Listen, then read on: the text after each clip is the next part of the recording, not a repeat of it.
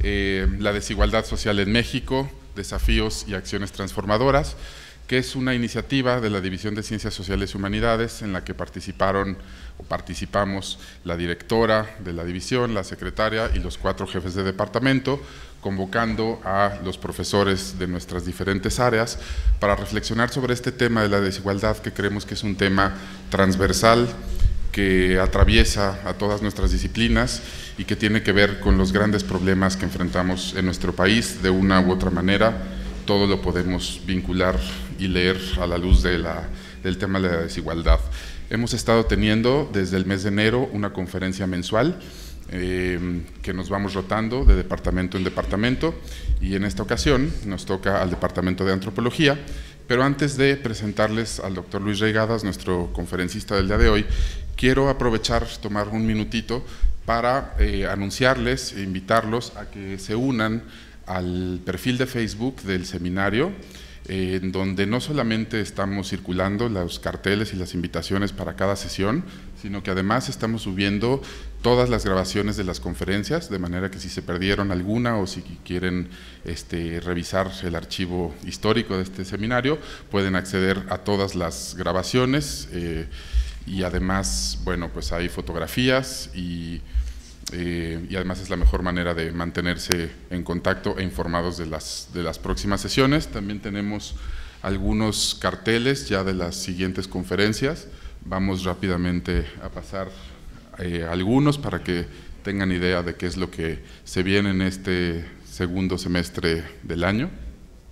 Y también anunciarles que hemos tenido eh, tanto éxito en esta convocatoria, los profesores, que ya tenemos, eh, digamos, invitados confirmados para continuar el seminario en 2017, así que probablemente se extenderá todavía por un año más este seminario, por lo menos unos cuantos meses.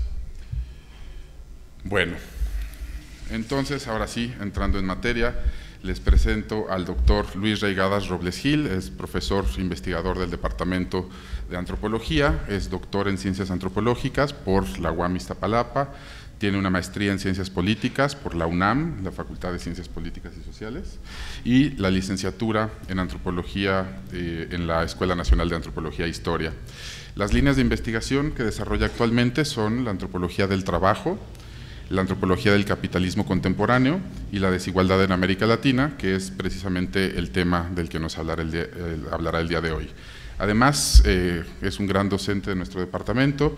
Eh, hay que decir que eh, actualmente acaba de terminar un seminario en posgrado muy exitoso de redacción de tesis de maestría, este salto de la muerte de la experiencia etnográfica a la redacción de la tesis y además actualmente dirige un trabajo de campo a nivel licenciatura en torno a la etnografía virtual o la etnografía en redes sociales y medios sociales.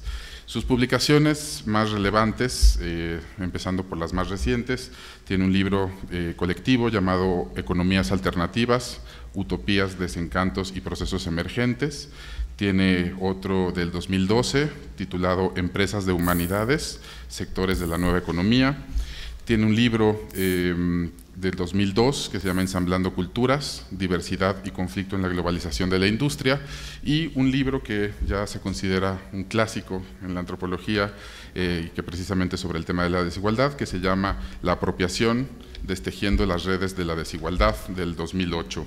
Él eh, además es miembro del Sistema Nacional de Investigadores, nivel 3, Recientemente, en 2014, obtuvo el premio Elinor Ostrom, por eh, es un premio que otorga la agencia, las agencias noruega y sueca y la Claxo de Desarrollo Internacional por un eh, ensayo sobre, titulado La Biblioteca de Babel.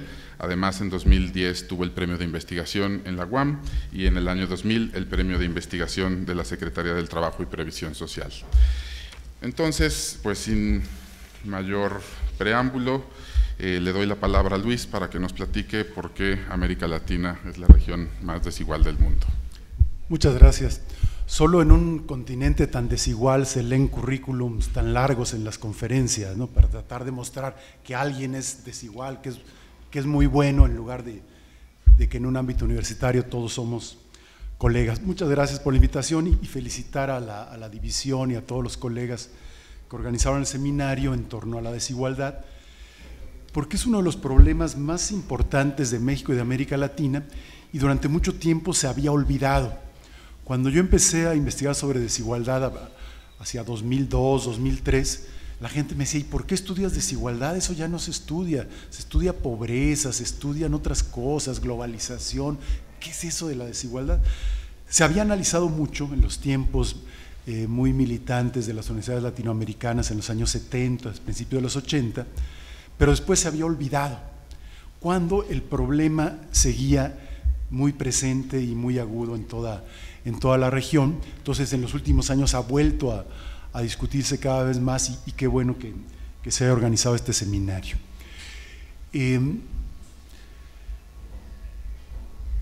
¿Por qué América Latina es tan desigual? Bueno, primero habría que entender a qué me estoy refiriendo cuando digo que es tan desigual o a qué se refieren muchos autores cuando dicen que América Latina es la región más desigual del mundo. Porque muchas veces cuando se oye la palabra desigualdad se piensa en pobreza. Y América Latina no es la región más pobre del mundo. Hay regiones en África, en Asia, mucho más pobres que América Latina. Entonces, desigualdad tiene que ver no con pobreza, sino con la combinación de pobreza y riqueza. Entonces, antes de, ver en qué es en lo que es más desigual América Latina, porque hay muchos tipos de desigualdades, puede haber desigualdades educativas, de género, eh, de muchos tipos. Entonces, quisiera primero empezar por ver en qué no está tan mal América Latina, o en qué no es el último lugar y en qué sí lo es para tratar de entender a qué me refiero y tratar de descifrar juntos unos mapas del mundo que les voy a presentar para entender la particularidad de América Latina. Este es un mapa del hambre en el mundo, donde el porcentaje de población desnutrida es de más del 35%, está en este color café. Donde está gris es que no hay datos y donde hay menos hambre serían los países verdes, ya sea verde oscuro o verde claro. Entonces, si se fijan, en América Latina no hay una situación de mucha hambre. Sí hay hambre, por supuesto, sobre todo en regiones rurales, pero nada que ver con lo que pasa en el África subsahariana. Si ven la parte del África negra, aquí es donde está concentrada la mayor parte del hambre del mundo y algunas partes de Asia. O también en estas regiones, que, en América Latina sería el caso de Bolivia, que sí tendría un poco más de población desnutrida, o partes de América Central, o Haití. En Haití sí hay una situación muy grave. Pero el resto de América Latina, digamos que la mayoría está en verde, amarillo, es decir, de los países con una situación intermedia o incluso buena, como el caso de Argentina, con muy poca población desnutrida. Entonces, no nos estamos refiriendo, al decir que América Latina es la región más desigual, no estamos diciendo que es en la que hay más hambre, que es la que está peor. No, no, no es eso. Les pido que vean, comparen, por ejemplo, por un lado, en todos los mapas que vamos a presentar, lo que es el mundo eh, desarrollado, los países industrializados van a aparecer en las mejores posiciones prácticamente en todos los indicadores. En este Canadá, Estados Unidos, Europa, sobre todo los países nórdicos, pero casi toda Europa, Australia, Nueva Zelanda y Japón. Los países, esos no van a cambiar mucho. En todos los mapas que, voy a presentar, que son cuatro o cinco, van a aparecer como en una situación muy buena. En cambio, es distinta la situación para Asia, para África y para América Latina que los comportamientos son diferentes. Por ejemplo, en este caso vemos que hambre es el África negra y algunas partes de Asia, no América Latina. Y les voy a pedir que traten de comparar mucho lo que es América Latina con esta parte de acá, que es lo que se llama el África Austral, que es Sudáfrica, que en este caso no hay datos, que está en gris porque no, había datos para quienes hicieron este mapa. Eh, Em, Namibia, que es este de aquí, Botswana y Lesoto, un país chiquitito que está aquí. Para, para ver, porque es interesante ver cómo en algunas cosas es muy parecida la situación de esta parte de África con América Latina. Veamos ahora la desigualdad de género. ¿Es América Latina la región más desigual en cuanto a género, a desigualdad de género? No. Hay, por supuesto, machismo, hay eh, patriarcado, hay desigualdad de género grave en los países de América Latina, pero no es la peor región del mundo en lo que se refiere a igualdad de género. Aquí, aquí está, sería donde hay una brecha de género más grande, o sea, mayor desigualdad entre hombres y mujeres, donde está este color aquí café claro o anaranjado, es donde hay mayor desigualdad, y donde está verde es donde hay mayor igualdad. Entonces, nuevamente, donde hay mayor igualdad de género es en los países desarrollados, no en Japón, en este caso aquí Japón no, está como el resto de los países industrializados, sí, pero el problema se concentra en algunas partes de África, que, había, también había habido mucha hambre, pero sobre todo en muchos de los países islámicos, que sabemos que hay, eh, no en todos, pero que hay una serie de restricciones, y en la India también, en que hay una serie de desventajas, incluso legales, culturales, religiosas, mucho, eh, que limitan el acceso a la educación a las mujeres, el acceso a ciertos puestos. Entonces, ¿hay desigualdad de género en América Latina? Sí. Se ve fuerte aquí en esta parte de Guyana, en, Guatemala, eh, en Chile, eh, Perú, pero no es tan fuerte como la que hay en estas partes de Asia y África. Entonces tampoco es a esa desigualdad a la que nos referimos. Hay problemas de desigualdad de género, sí, pero no, no es lo más característico de América Latina. La siguiente, por favor. Si vemos el problema de la desigualdad en términos de acceso a la escuela y sobre todo, en este caso, el número de alfabetos y de analfabetos. Aquí es, los países en azul oscuro tienen 97% o más de personas que saben leer y escribir. Es decir, prácticamente hay muy poco analfabetismo, quizá personas muy grandes, personas enfermas, personas con alguna discapacidad intelectual o casos muy extraordinarios, respecto a los que están en, rojo y amarillo, donde hay una gran proporción de personas que no saben leer y escribir. Aquí nuevamente, si vemos América Latina en general, salvo algunos países de Centroamérica y Haití, eh, tienen, están del 80%, 80% no es una situación muy buena, que digamos que 20% de la población adulta no sepa leer y escribir, es grave. Pero lo más grave nuevamente está en algunos países de África, eh, algunas partes de Asia. Nuevamente aquí vemos que esta parte de África se comporta un poquito como América Latina.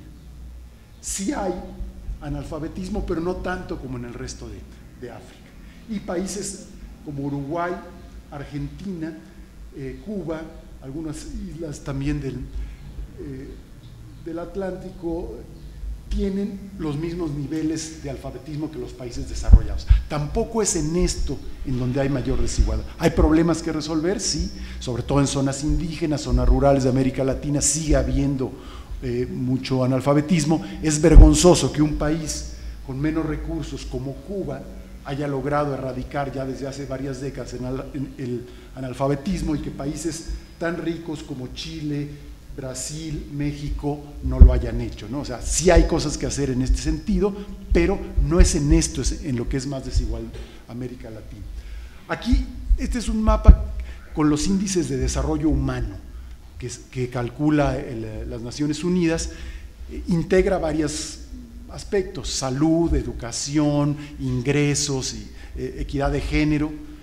Es el famoso índice de desarrollo humano que se, se informa cada año cómo va. Y aquí están solo tres colores. En azul los que tienen desarrollo humano alto, en amarillo los que tienen desarrollo urbano medio y en rojo desarrollo humano bajo. Nuevamente, en América Latina no es como el caso, si se fijan, en el caso de África no hay un solo país con desarrollo humano alto y solo algunos eh, que tienen petróleo en algunos casos eh, tienen un desarrollo humano medio, niveles medios. En América Latina algunos tienen desarrollo alto como Chile y, y Argentina y muchos tienen desarrollo humano medio como en el caso de México. Entonces nuevamente no es en esto en lo que está peor América Latina en el contexto mundial, son nuevamente partes del sudeste asiático y de África y algunos países latinoamericanos, sí, como Centroamérica, Haití nuevamente, eh, Paraguay y Bolivia, donde sí el, de desarrollo, desarrollo humano todavía es bajo y sí hay bastante pobreza. perdón la interrupción, ¿nos podrías eh, platicar un poco qué factores son los que se toman en cuenta para medir este índice de desarrollo humano? Básicamente, bueno, son varios, escolaridad, incluso a lo mejor alguien del auditorio lo sabe mucho mejor que yo. Uno de ellos es escolaridad. ¿Qué tanto analfabetismo hay? ¿Qué tanta, qué, ¿Cuántos años de escolaridad? Em, salud, mortandad infantil, eh, eh, mortalidad materno-infantil, índice de esperanza de años de, de esperanza de vida al nacer Em, también se mete algo de desigualdad un poquito, también se, incluye en el índice. entonces, en general, e, esto lo, se hizo porque antes solo se medía el dinero y mucho por influencia de, de Amartya Sen, este economista de origen hindú, que decía lo importante no es solo el dinero, sino qué se hace con el dinero y el bienestar, que se hizo este índice de desarrollo humano para tratar de mostrar que no importaba solo el promedio de ingreso del país, sino si las personas tenían acceso al bienestar, salud, educación, eh, cultura, qué tanta desigualdad. La siguiente, por favor.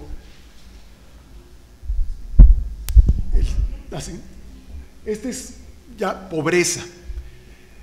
Divide igual entre, en verde son los países de renta alta, es decir, que el, ingreso promedio de la población es alto y en rojo los países que tienen ingreso promedio más bajo.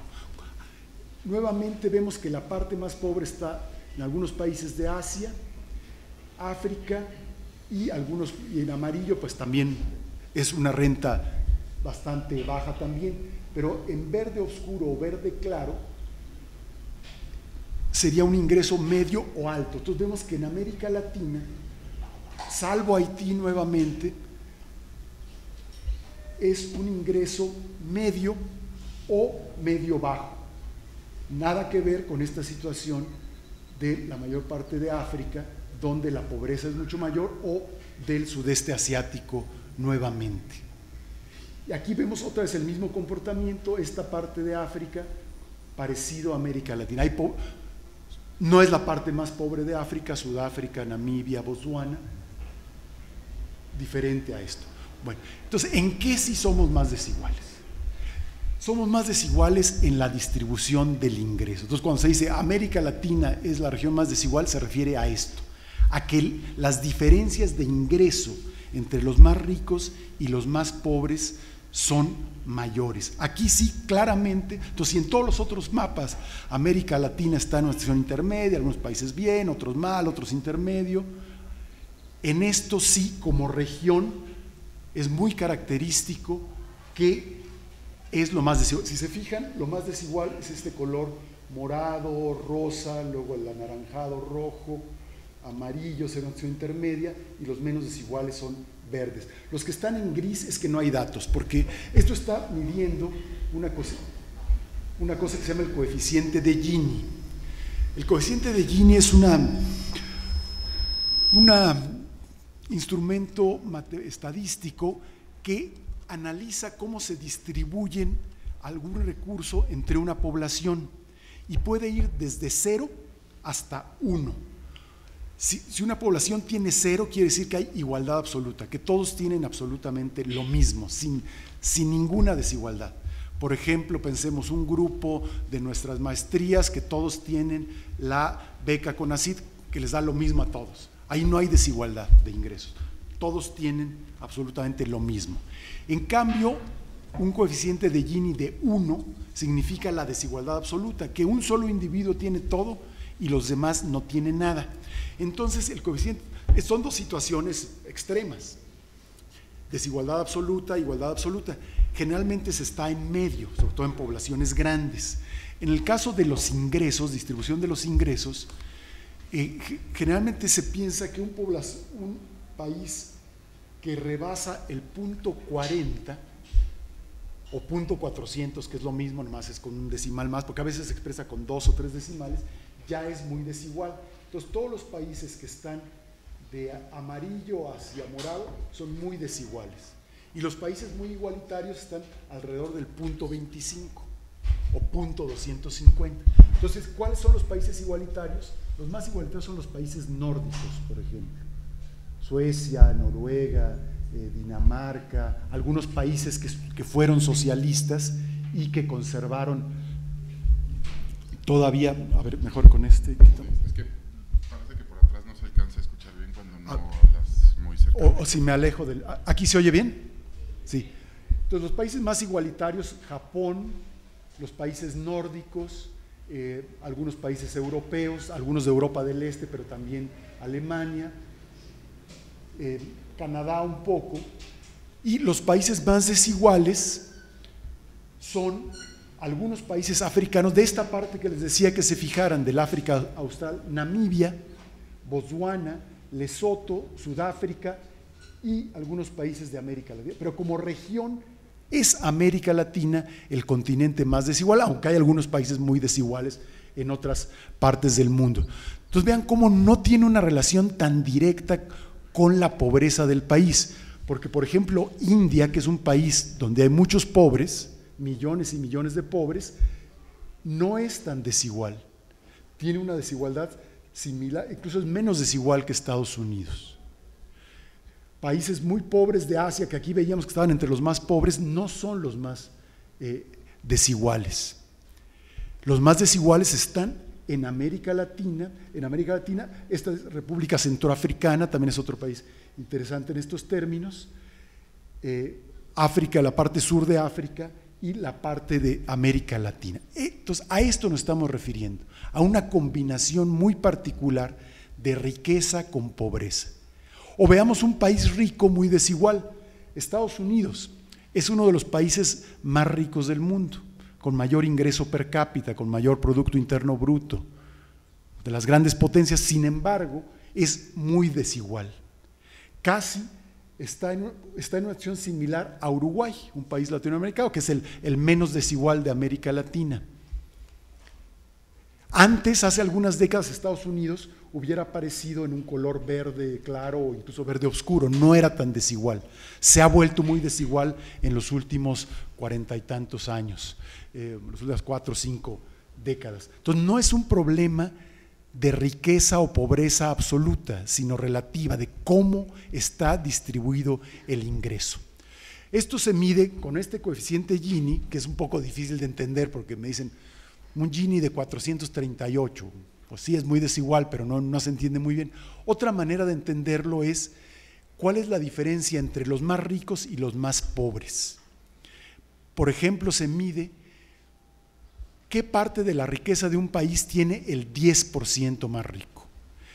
Si, si, vemos la siguiente, aquí son los coeficientes Gini por región, para verlo ya no por país, sino por región, en la década de los 70, 80, 90. Es algo que tiende a ser bastante estable, sobre todo si es por región, porque aunque un país cambie, otro no, no, no tanto, entonces se mantiene.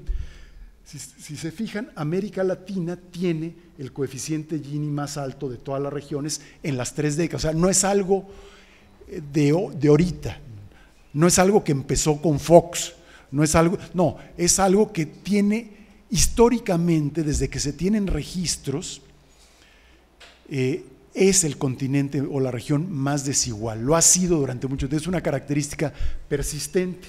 Después sigue el África subsahariana, después sigue el, este de Asia, los países desarrollados, quitando ahí a, a Chile y México, que forman parte de América Latina y que son de la OCDE, y Europa Oriental. El socialismo hizo sociedades más igualitarias, por supuesto, y esto ha dejado rastros incluso después de que cayó el, muro de Berlín, aunque ha aumentado. Por ejemplo, Rusia, de ser uno de los países más igualitarios, se volvió muy desigual también. Sí, influye lo que pasa eh, en, la política, pero en términos generales es la región más desigual y le sigue de cerca África.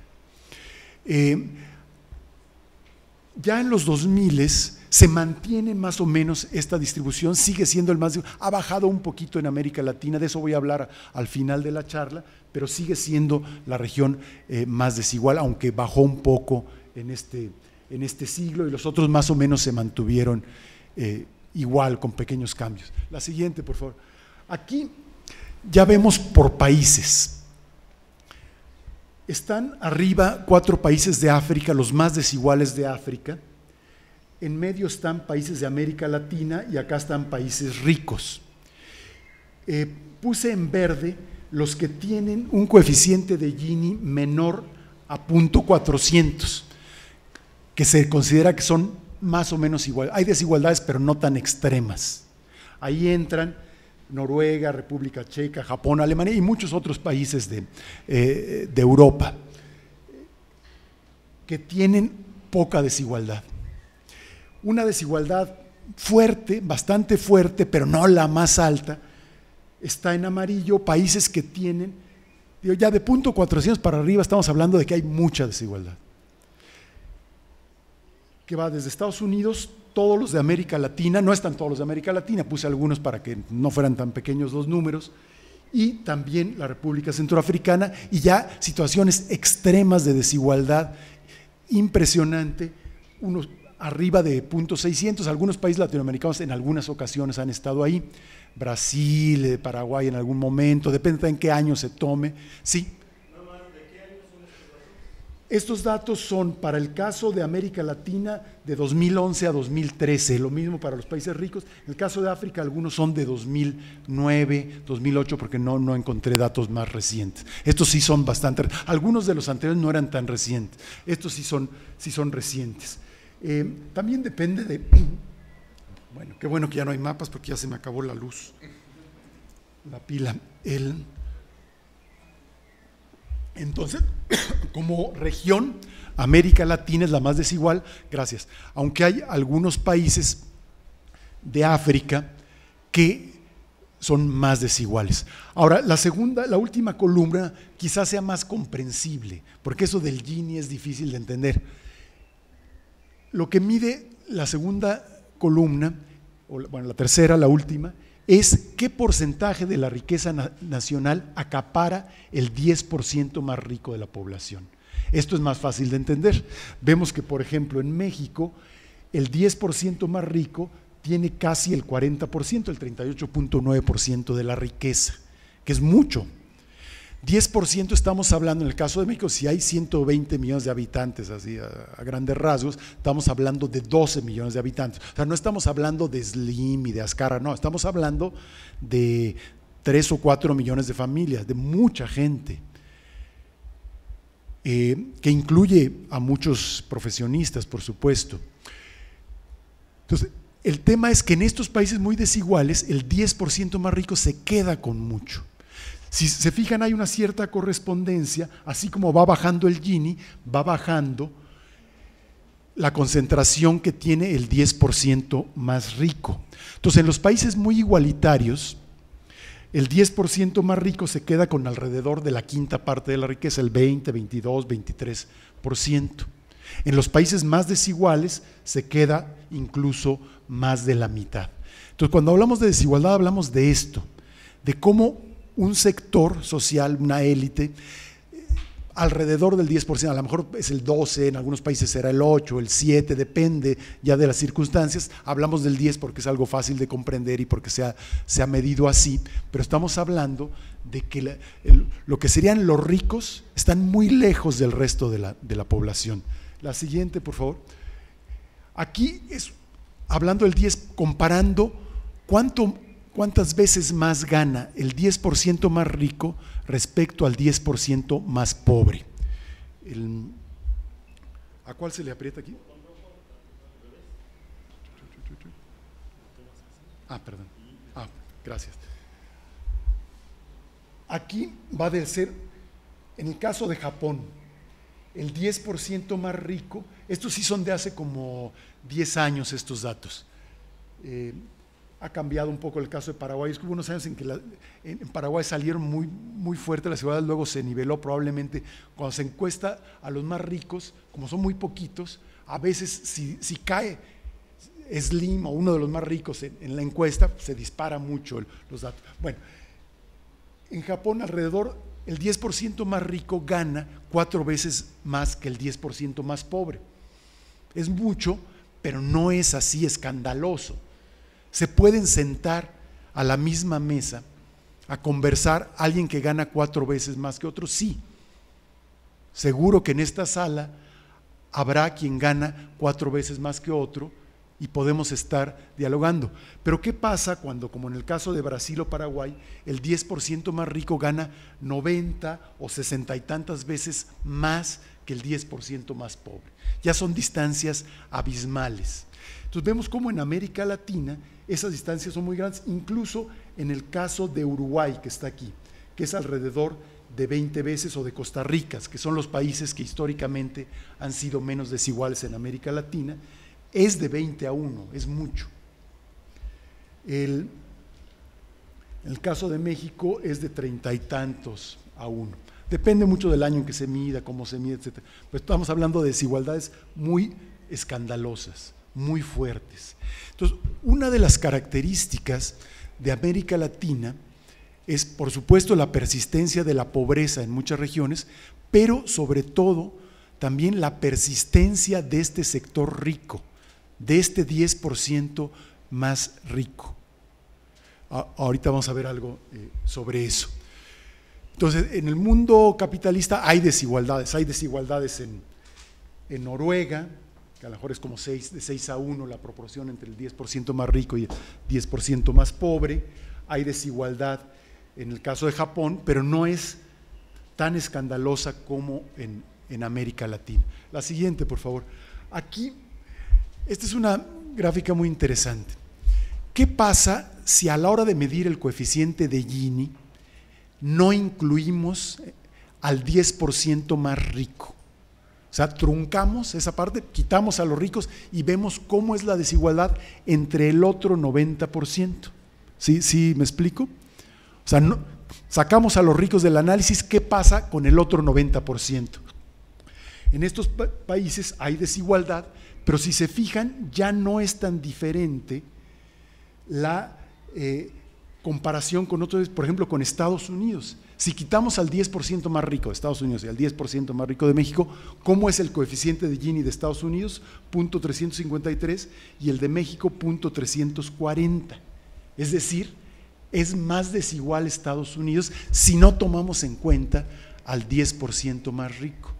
Entonces, lo que es característico de América Latina es que el 10% de la pirámide, no se oye con la grabación, se me si te, te, puedes llevar el micrófono.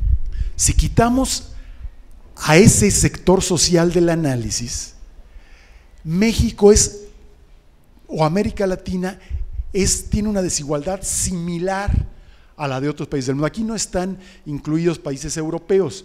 Eh, probablemente quitando el 10% más rico, bueno, Noruega tendrá punto 240 o eh, la República Checa a lo mejor punto 260, pero ya no es tan grande la diferencia entre México y Costa Rica y Uruguay, por ejemplo, es mucho más igualitario que Estados Unidos. ¿Qué quiere decir esto? Que buena parte, no toda, pero una parte de la importante de la desigualdad y de que América Latina sea la región más desigual del mundo, es que históricamente la, élite, la, la clase alta, la capa superior, los ricos o como quieran llamarle,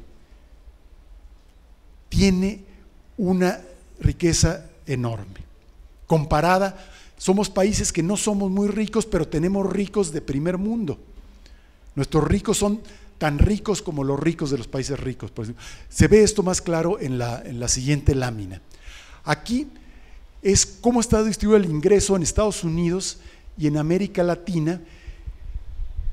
¿Cuánto gana? Estos datos también son de hace algunos años.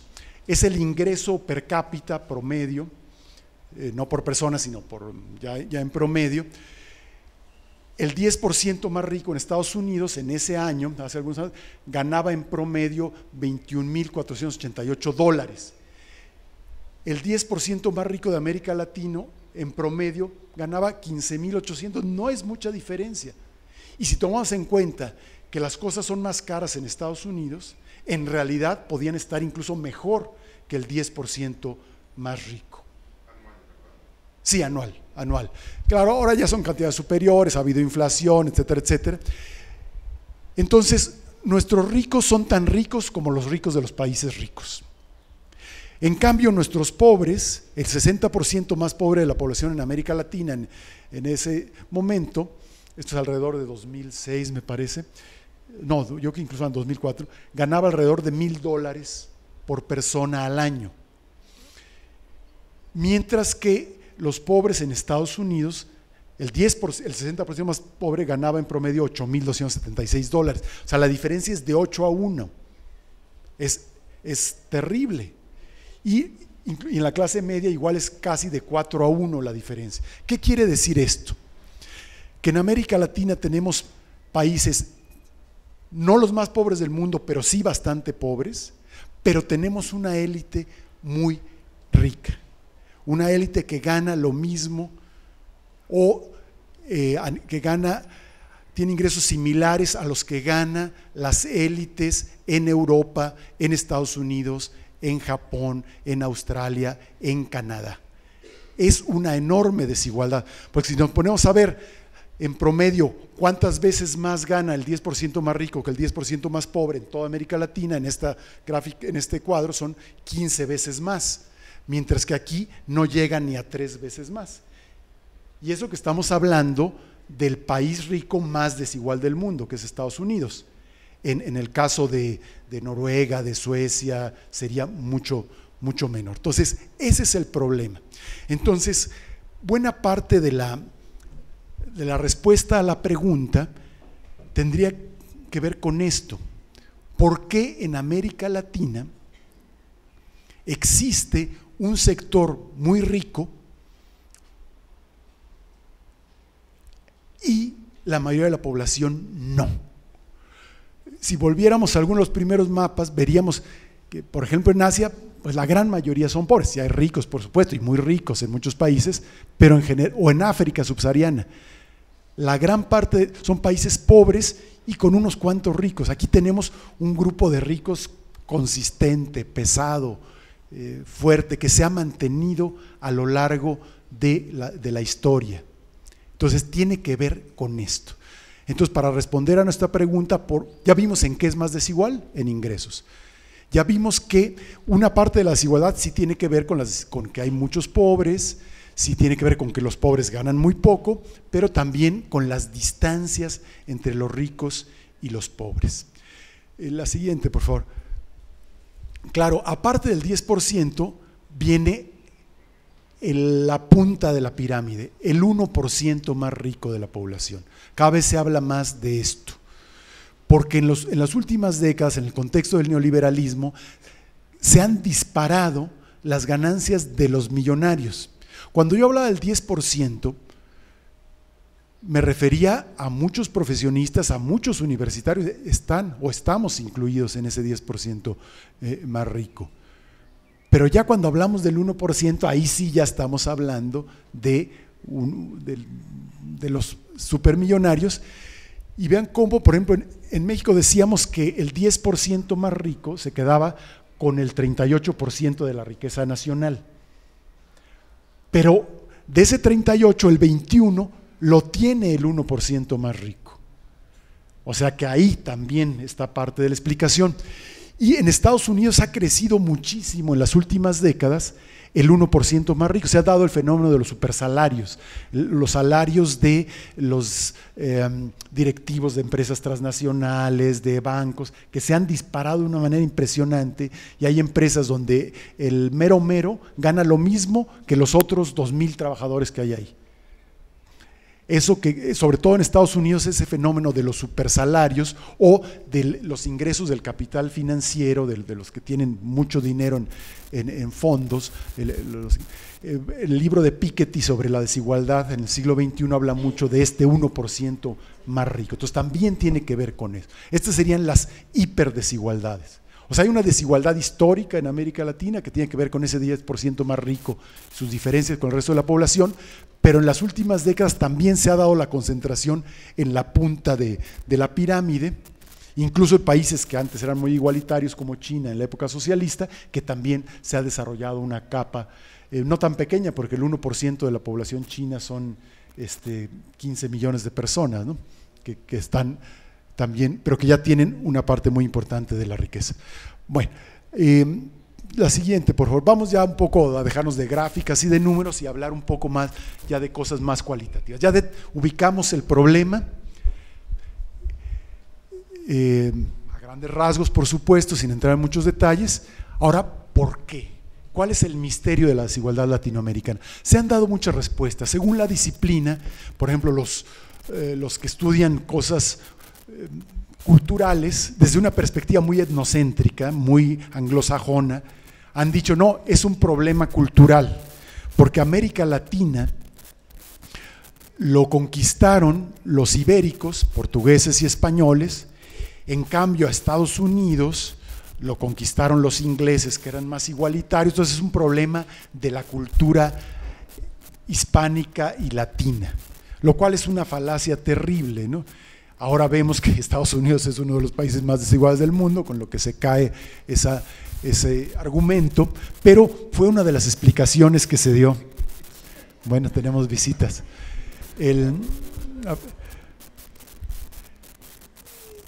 entonces, evidentemente no es eso. Sí tienen que ver factores históricos de la colonia, después me voy a referir a eso, pero no es algo que esté en los genes, no es algo cultural. No, tiene que ver con, es una explicación demasiado simple. Los historiadores han apuntado a la herencia colonial y ahí sí ya tienen algo de razón. Es una de las explicaciones más importantes. Ninguna región del mundo como región grande ha tenido 300 años seguidos de, de colonialismo con los mismos colonialistas en términos generales. Fue mucho tiempo 1521, en el caso de México 1821, en donde se constituyó una matriz de derechos diferentes entre los indígenas y los colonizadores y se formó una élite que se quedó en América Latina. Si nosotros vemos qué pasa en el África negra, ¿quién es la élite? La élite son africanos. En algunos países, ya después vamos a ir a las excepciones. En el caso de América Latina, la élite, aunque es muy diversa, en buena parte es eurodescendiente, de piel blanca, no todos por supuesto, ha habido mucho mestizaje, lo que sea, pero, pero sí hay una cierta coincidencia en que se formó una élite de origen europeo que tuvo acceso a privilegios coloniales y que después se reprodujeron su situación ya no legalmente con la independencia desapareció las desigualdades, la República de Indios y la República Española, los privilegios legales, pero se mantuvo una matriz de desigualdad que transformándose por supuesto persiste hasta la fecha. Entonces ese es uno de, de los orígenes. Yo les decía que se fijaran en el África Austral, porque ¿qué ocurrió en Sudáfrica, Botswana y Namibia? El apartheid. Es decir, ahí también hubo colonos europeos de origen inglés, holandés y alemán que se quedaron y que en algún momento de la historia instauraron un régimen jurídico, el, del apartheid, que le daba derechos especiales a los blancos y que discriminaba de una manera terrible a la población negra. Entonces no es casual que esos países que en, cierto sentido tienen una historia parecida a América Latina en, términos de que existe una élite no lo, que no tiene un origen local, sino europeo o, de, otro, de otra región, que se quedó ahí, porque en otras partes de África sí hay población europea y está en muy buenas condiciones, pero son muy poquitos. En Namibia estamos hablando de, en Sudáfrica de 10, 15%, según cómo se mida, es decir, hay. No son unos cuantos, sino es un grupo dominante muy consistente que aún después del apartheid ha conservado muchos de, sus privilegios, de sus riquezas, etcétera, etcétera, aunque ya no exista el apartheid. Entonces, vean cómo tiene algo que ver. Si, si, una de las razones de la desigualdad en América Latina es la presencia de una élite duradera, persistente, entonces, América Latina y, África Austral son una combinación de riqueza y pobreza muy em, impresionante, muy interesante y muy tremenda. Es decir, no son países apartados de las corrientes mundiales del comercio, no, han participado activamente en el comercio mundial desde el siglo XVI, en el caso de, de algunas regiones de América Latina. Sudáfrica no es el país más pobre de, de, África, probablemente sea uno de los, de los más ricos, con mayor ingreso per cápita. Entonces, la desigualdad tiene que ver con eso, con la existencia de empresas, negocios, cadenas productivas insertadas en la globalización que generan mucha riqueza, pero rodeadas de un mar de pobreza eh, y de eh, muy fuerte. Entonces, ahí está. Estamos hablando de combinaciones muy peculiares a partir de una historia de riqueza con pobreza. Países que han sido desde hace muchos años muy ricos, pues son, no son países tan desiguales porque hay una clase media muy fuerte. Países que han sido históricamente durante mucho tiempo muy pobres, muy aislados, son muy pobres, a lo mejor su situación humana es peor que la de América Latina en términos de enfermedades, de esperanza de vida, de muchas cosas, pero no son tan desiguales como América Latina. Eh, los economistas hablan del capitalismo dependiente, de cómo hay una economía polarizada, segmentada, donde una parte de la economía produce para la exportación, genera muchas riquezas, paga eh, ingresos altos, sobre todo a los dueños, pero también a algunos de sus trabajadores, mientras que el resto de la economía produce para eh, el consumo interno en condiciones muy desventajosas. Los politólogos hablan de cómo el Estado es controlado por esa élite y el resto de la población no tiene una verdadera ciudadanía, sino es tratada de manera clientelar, recibe las migajas, frijol con gorgojo, diría López Obrador, eh, mientras que el resto del Estado está más bien para proteger los intereses eh, de esa élite. Los que últimamente los estudios sobre discriminación hablan del tema étnico y racial, sobre eso me voy a detener más adelante. Quizá si hubiera que mencionar un único factor, no es uno, son muchos, pero un único factor que influye en esto tiene que ver con el tema étnico-racial. Lo dejo para, para hablarlo después. Se habla también de ausencia de reformas agrarias en muchos países de América Latina, en algunos países sí los hubo, o de reformas fiscales, porque también en Europa, también en Estados Unidos, también en Japón, hay gente que gana mucho, pero hay impuestos muy altos. ¿Qué es lo que caracteriza a Suecia y Noruega o a países de Europa Oriental en la época socialista y que todavía quedó algo de eso? Que hay impuestos altísimos a la riqueza. En Noruega llegó a ser en un momento el 50% de lo que ganaba la gente, sobre todo los que ganaban más, se iba eh, en forma de impuestos y regresaba a la población en forma de escuelas, hospitales, carreteras, infraestructuras. Entonces, eso es lo que producía igualdad, que había que hay estructuras fiscales progresivas. Progresivas quiere decir que se le cobran muchos impuestos a los muy ricos y que luego eso se gasta en todos y sobre todo en los más pobres. Eso es lo que no hay en América Latina, donde los impuestos son muy bajos. Y no queremos pagarlos porque se los roban. También, también tiene que ver con eso. Y algunos países que sí tienen impuestos más altos, como Brasil, los distribuye regionalmente de una manera muy desigual. No se gastan necesariamente en los más pobres. Los que tienen una, una estructura fiscal más progresista o más progresiva tienen menos desigualdad, como es el caso de, Uruguay. Eh, y las disparidades, últimamente se habla mucho de las disparidades educativas, aunque esto es más reciente, porque antes casi nadie iba a la escuela, entonces esto es más reciente. Entonces se han tratado de encontrar un factor único, pero no es un factor único, es una combinación de factores. ¿Cuáles podrían ser? La siguiente, por favor. Yo veo eh, estos factores como los más importantes. Obviamente faltan algunos o están incluidos en estos. Y me voy a detener sobre todo en el primero, que es la yuxtaposición de la clase social con la etnia.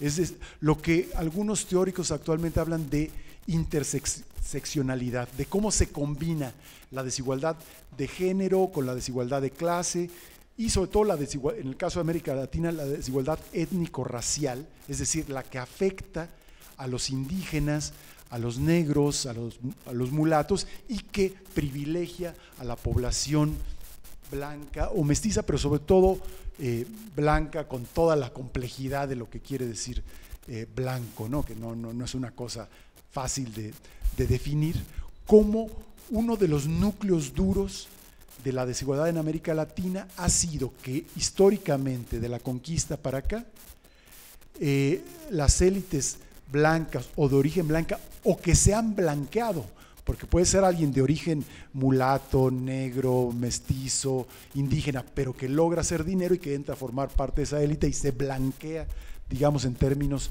sociales eh, y culturales, que ha mantenido sus privilegios frente al resto de la, de la población. Después voy a hablar un poco de los otros puntos más rápidamente, la distancia entre las élites y el resto de la población, la polarización económica y el deterioro de la, esfera pública y la debilidad del Estado para combatir las desigualdades. Porque lo que caracteriza a los países menos desiguales es que tienen un Estado fuerte que invierte mucho en reducir la desigualdad, que invierte mucho en escuelas, que invierte mucho en hospitales, que invierte mucho en infraestructura, que invierte en universidades, que invierte en cultura, sobre todo cobrando impuestos a los de mayores ingresos y eso iguala un poco. Entonces, en América Latina lo que falta es eso.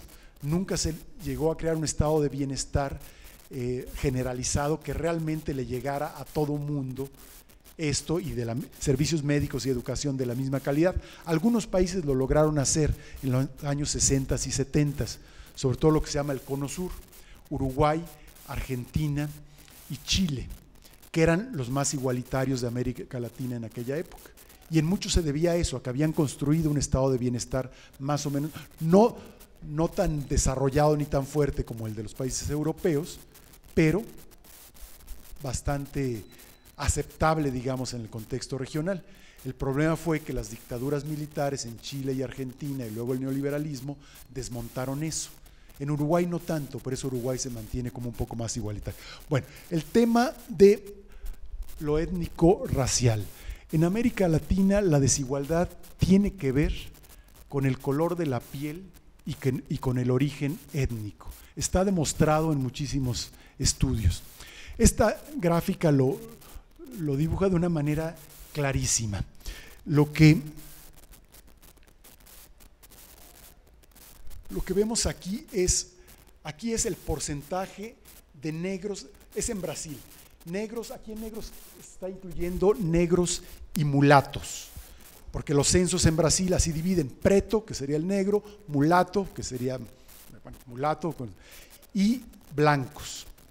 Entonces, aquí se ve qué porcentaje de la población son negros y mulatos, desde el 0 hasta el 80%, y aquí son los deciles de ingresos.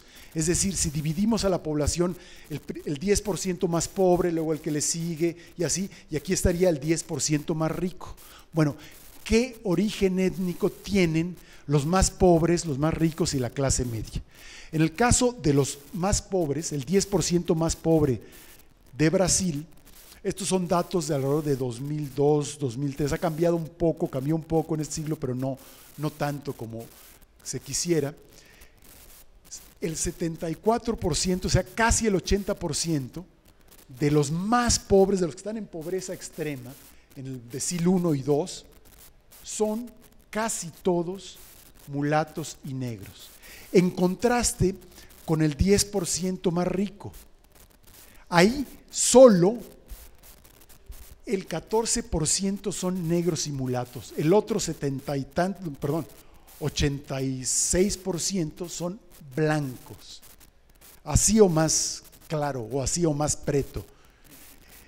Y si se fijan, es consistente. Entre más pobre, más negro, o entre más negro, más pobre. Esto es un círculo vicioso. Y entre más blanco, menor posibilidad de estar entre los más pobres y mayor posibilidad de estar. Esto ocurre también en Colombia, en otros países donde hay mucha población negra, en Colombia hay algo parecido, eh, en algunos este, otros países, en Honduras. Y algo similar, los estadísticos dirían que hay una correlación positiva muy clara entre origen étnico, color de la piel e ingresos, que tiene que ver con esa herencia colonial. Ya desde hace mucho tiempo, bueno, no tanto porque en Brasil la esclavitud se desapareció hasta finales del siglo XIX, pero bueno, ya ya no hay esclavitud desde hace más de, desde hace aproximadamente 120 años en Brasil, pero la herencia de esto todavía deja huella. Esto no quiere decir que sea una discriminación directa. O sea, no es que al momento de llegar a trabajar eh, en, una empresa en Brasil diga, a ver, tengo un puesto para ganar este, 5 mil dólares al mes de director de no sé cuánto y también tengo algunos puestos para hacer la limpieza en la fábrica que solo van a ganar 500 eh, dólares al mes. Y que al llegar ahí digan, ah, tú eres negro, te vas a, a, barrer y tú eres blanco, te vas de director. No, no, no es esa discriminación así directa, burda, sino que son es la acumulación de desventajas por siglos de racismo que hace que al momento de llegar a pedir trabajo, la mujer negra que viene del nordeste brasileño, eh, que solo estudió hasta cuarto año de primaria, solo va a poder competir por ese puesto de hacer la limpieza. Y el descendiente de alemanes que viene de Río Grande do Sul, em, eh, rubio, de ojos azules y que hizo una maestría en Harvard, es que va a poder competir por esto. Entonces no es una discriminación directa, Existe discriminación directa todavía en América Latina, pero más bien es el racismo estructural que ha dejado huellas a lo largo de siglos. La siguiente, por favor. Lo mismo que ocurre, ah bueno, esto es todavía en Brasil, eh, de 1995 a 2001, ¿cuál es el promedio de ingreso en, en reales de 2002 de negros y blancos? Si se fijan en todos los años, los blancos ganaban 2.4, o sea, casi dos veces y media más que los negros y mulatos. Más del doble. O sea, el color de la piel está igual, no es por discriminación directa en la mayoría de los casos, sino es la sedimentación de muchos siglos de, asimetrías regionales, educativas, económicas, maltratos, que hacen que la gente llegue en condiciones desventajosas que están claramente relacionadas con el color de la piel con lo que en Brasil llaman negros, pretos, mulatos y blancos. ¿Qué pasa? ¿Qué pasa? Mejor me siento. En países como México con gran población indígena, podemos ver la próxima, hay algo parecido, no tengo una gráfica así tan ilustrativa como la de Brasil, pero sí algunos cuadros sobre posibilidad de tener extrema pobreza. Fíjense, por favor, en esta columna, porcentaje de indigentes, es decir, porcentaje que está en pobreza extrema. Esta es una gráfica hecha a partir de datos de Julio Bolvinic, que tiene un umbral de pobreza altísimo en sus datos. La mayor parte de la población en México es pobre. Mientras en otros datos aparece el 50%, en los de él aparece el 80%. Bueno, entonces son muy altos, pero lo interesante es esto. Los indígenas, de la población indígena, el 82.8% estaría en situación de pobreza extrema, mientras que los no indígenas el 42. Es decir, hay más o menos el doble de posibilidades de estar en pobreza extrema para los indígenas que para los no indígenas. La, siguiente, por favor. Esto es el caso de Perú, igual. Hay no indigencia, sino pobreza extrema, que sería más o menos lo mismo. Entre los indígenas el 26% de la población está en pobreza extrema frente a solo 7.7% de la población no indígena. Es alrededor de tres y pico de veces más. También de pobreza es, casi el doble la posibilidad, pero sobre todo en pobreza extrema. Entonces, ¿qué es lo que tenemos en América Latina, en los extremos del espectro social? Una minoría de alrededor del 10%, varía, puede ser 8, 9, 12 según el país, según la época, que está en situaciones de privilegio, que son tan ricos como los ricos de los países ricos, y un porcentaje amplio de la población, que en muchos casos, no siempre, pero en muchos casos es indígena, eh, campesino, también ahorita vamos a lo de lo campesino, negro, mulato, que está en situación de pobreza. Y una porcentaje, la mayoría de la población que está en medio y que está mucho más cerca de, de los pobres que de los ricos. Porque el coeficiente de Gini nos mide a, todos, pero lo importante es ver en dónde están los brincos. ¿Se acuerdan de la gráfica del Gini truncado, la que no incluía al 10% más rico? Esa gráfica lo que quiere decir es que están los más pobres y va subiendo, va subiendo, va subiendo, va subiendo poco a poquito, poco a poquito, poquito y de repente hay un brinco. Un brinco donde está ese 10% más rico que ya gana mucho más, 60 veces más que el 10%, 80 veces más, y en la punta de la pirámide miles de veces más. Entonces, es una desigualdad que tiene estos dos grandes escalones. El primer escalón es el que separa alrededor del 30 o 40% de la población más pobre que está en ocupaciones manuales con baja escolaridad y que tiene ingresos muy bajos. Ahí hay sobre todo muchos indígenas, negros, pero también mestizos y eh, eh, campesinos, gente que hace trabajo manual con poca escolaridad y trabajo manual poco calificado, que sus ingresos son muy bajos.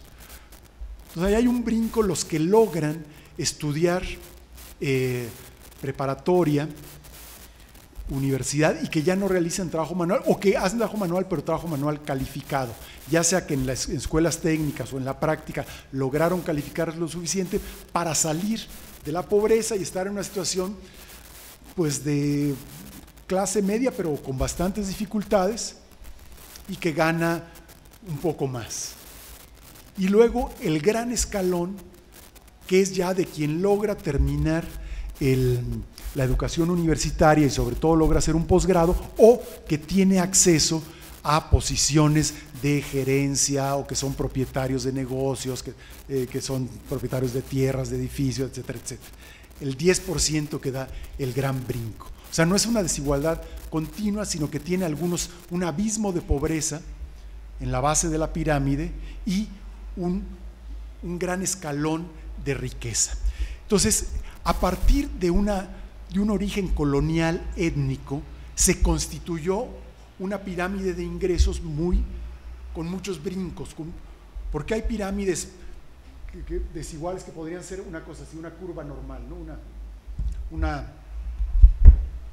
lo que es la, campana de Gauss, ¿no? una, una curva normal, pero hay otras en que son muy poquitos ricos. Si ustedes analizan los la estructura de ingresos en América Latina, no solo en la economía, sino también en las universidades, en las ONGs, en los partidos políticos, en el gobierno, van a ver que en la, cúpula se disparan los salarios.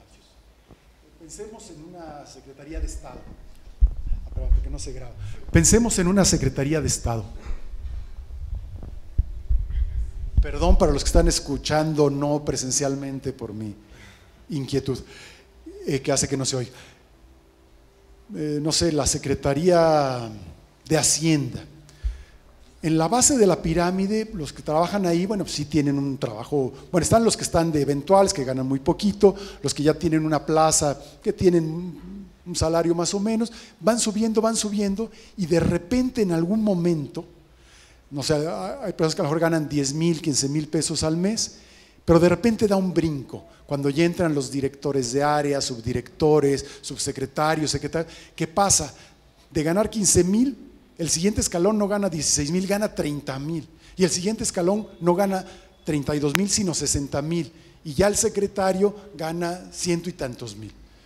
En los partidos políticos lo mismo, cualquiera, de izquierda, de derecha. La base gana más o menos y de repente los grandes dirigentes. En la Cámara de Diputados, ¿cuánto ganan los asesores? Muy poquito, de repente los diputados ganan varias veces más. Incluso en organizaciones que se dicen muy de izquierda, muy revolucionarias, ONGs, es normal eso. O en las mismas universidades, analicemos el Sistema Nacional de Investigadores.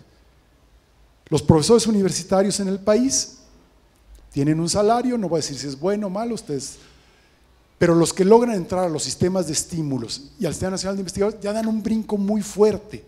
Está bien que haya eh, estímulos a los que son, publican más, atienden, trabajan más, eh, dirigen muchas tesis. Está bien que haya un estímulo, pero tan grande.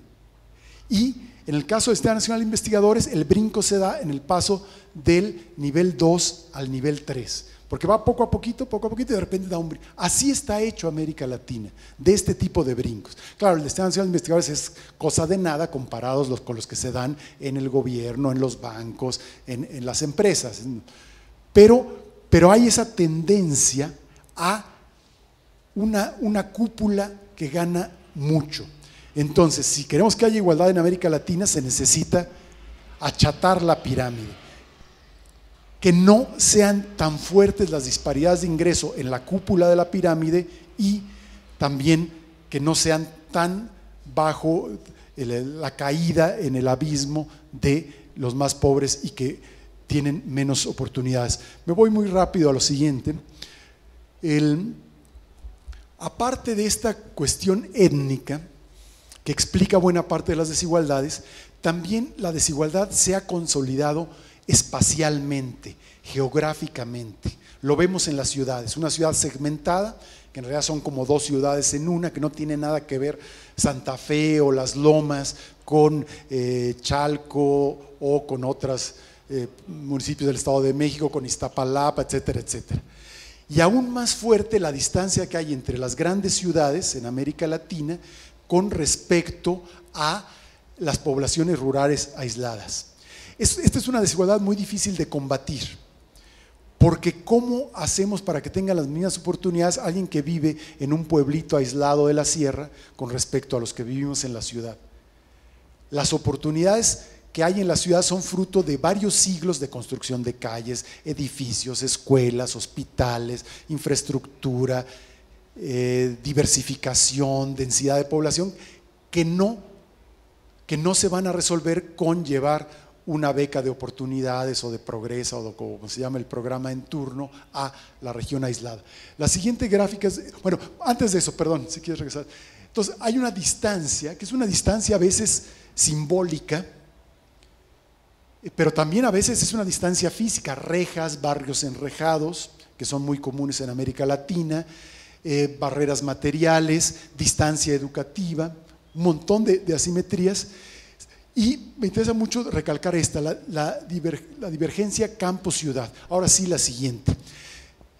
En este cuadro se compara qué tanto más ganan las personas en promedio que viven en la zona más rica de un país con respecto a los que viven en la zona más pobre de un país o en la región más pobre de un país. Si se fijan en países europeos, esa diferencia es aproximadamente de 2 a 1, incluso de cerca eh, de, 1.3 en, un país como la República Checa, que es un país muy chiquito, que fue socialista, entonces no hay grandes eh, desigualdades regionales.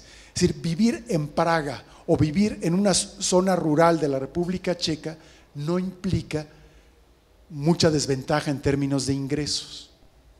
Pero en cambio, vivir en Sao Paulo o en la Ciudad de México o en Buenos Aires o en Bogotá o Medellín y vivir en una zona rural de Argentina, Colombia o México es tremendo. La diferencia de ingresos entre quienes viven en las regiones más ricas, en Colombia y en la región más pobre de Colombia, es de 9 a 1, de 8 puntos tanto a 1. En, en Argentina, de 8 a 1. En Buenos Aires hay buen nivel de vida, a pesar de que hay mucha pobreza, por supuesto, urbana y segmentación, pero la gran desigualdad está entre los que viven fuera de Buenos Aires y en Buenos Aires los que viven eh, fuera o en el caso de Brasil, etc. Entonces, esta, entonces habíamos hablado de una desigualdad étnica, de una yuxtaposición de la etnia y la raza con la clase. Este es un segundo núcleo de la desigualdad que es territorial, que tiene que ver con la, configuración de los espacios urbanos en América Latina y la enorme distancia que hay entre las capitales y el resto de las ciudades. Y es una desigualdad muy difícil de combatir porque es también la sedimentación de muchos siglos de desigualdad que ha hecho que todas las oportunidades se concentren en ciertas ciudades y en ciertas partes de esas ciudades. La siguiente, por favor. Em, ya aquí me voy muy, muy rápido, ha sido muy larga la, la charla, tampoco quiero aburrirlo. En términos económicos, esta segmentación se expresa en lo que los muchos economistas latinoamericanos han mencionado de que hay una economía segmentada, polarizada, a veces se habla de dualismo. Esto es muy discutido porque en realidad eh, porque se habla de una economía de los ricos y una economía de los pobres, una economía para la exportación con altos, con personal muy capacitado, con tecnología de punta, que pensemos por ejemplo las fábricas automotrices en México. México es de los principales exportadores de automóviles. Es una economía de punta, con tecnología de punta, que no tiene nada que ver con la, una economía tradicional, con baja tecnología, con personal poco calificado. Y esa economía de punta produce para el mercado mundial y genera enormes ganancias, obviamente, para los dueños de las transnacionales automotrices y una pequeña franja eh, muy pequeña que trabaja ahí, me refiero a los que trabajan en, puestos de confianza muy bien pagados, e incluso algunos de sus trabajadores tienen buenos salarios, no así los de las maquiladoras automotrices. Entonces tenemos ese tipo de economía globalizada, de punta, y otra economía más para el consumo interno. Entonces, la riqueza que se produce en estos dos sectores de la economía es muy, muy dispar. Entonces, esto reproduce constantemente la desigualdad. Claro, no se trata de sectores aislados. Se ha demostrado mucho cómo el sector informal, el sector tradicional, está alimentando al sector moderno con mano de obra eh, barata, con mercado, con muchas cosas. o sea, no, no son dos mundos totalmente separados, hay muchos vasos comunicantes, pero básicamente sí son sectores que producen a muy distinto ritmo, a muy distinta velocidad para distintos mercados y que generan ingresos muy distintos. Aquí este, invité a un compañero de una cooperativa que, ahora, que era cooperativa, ahora, es una fábrica, una, una, pequeña empresa.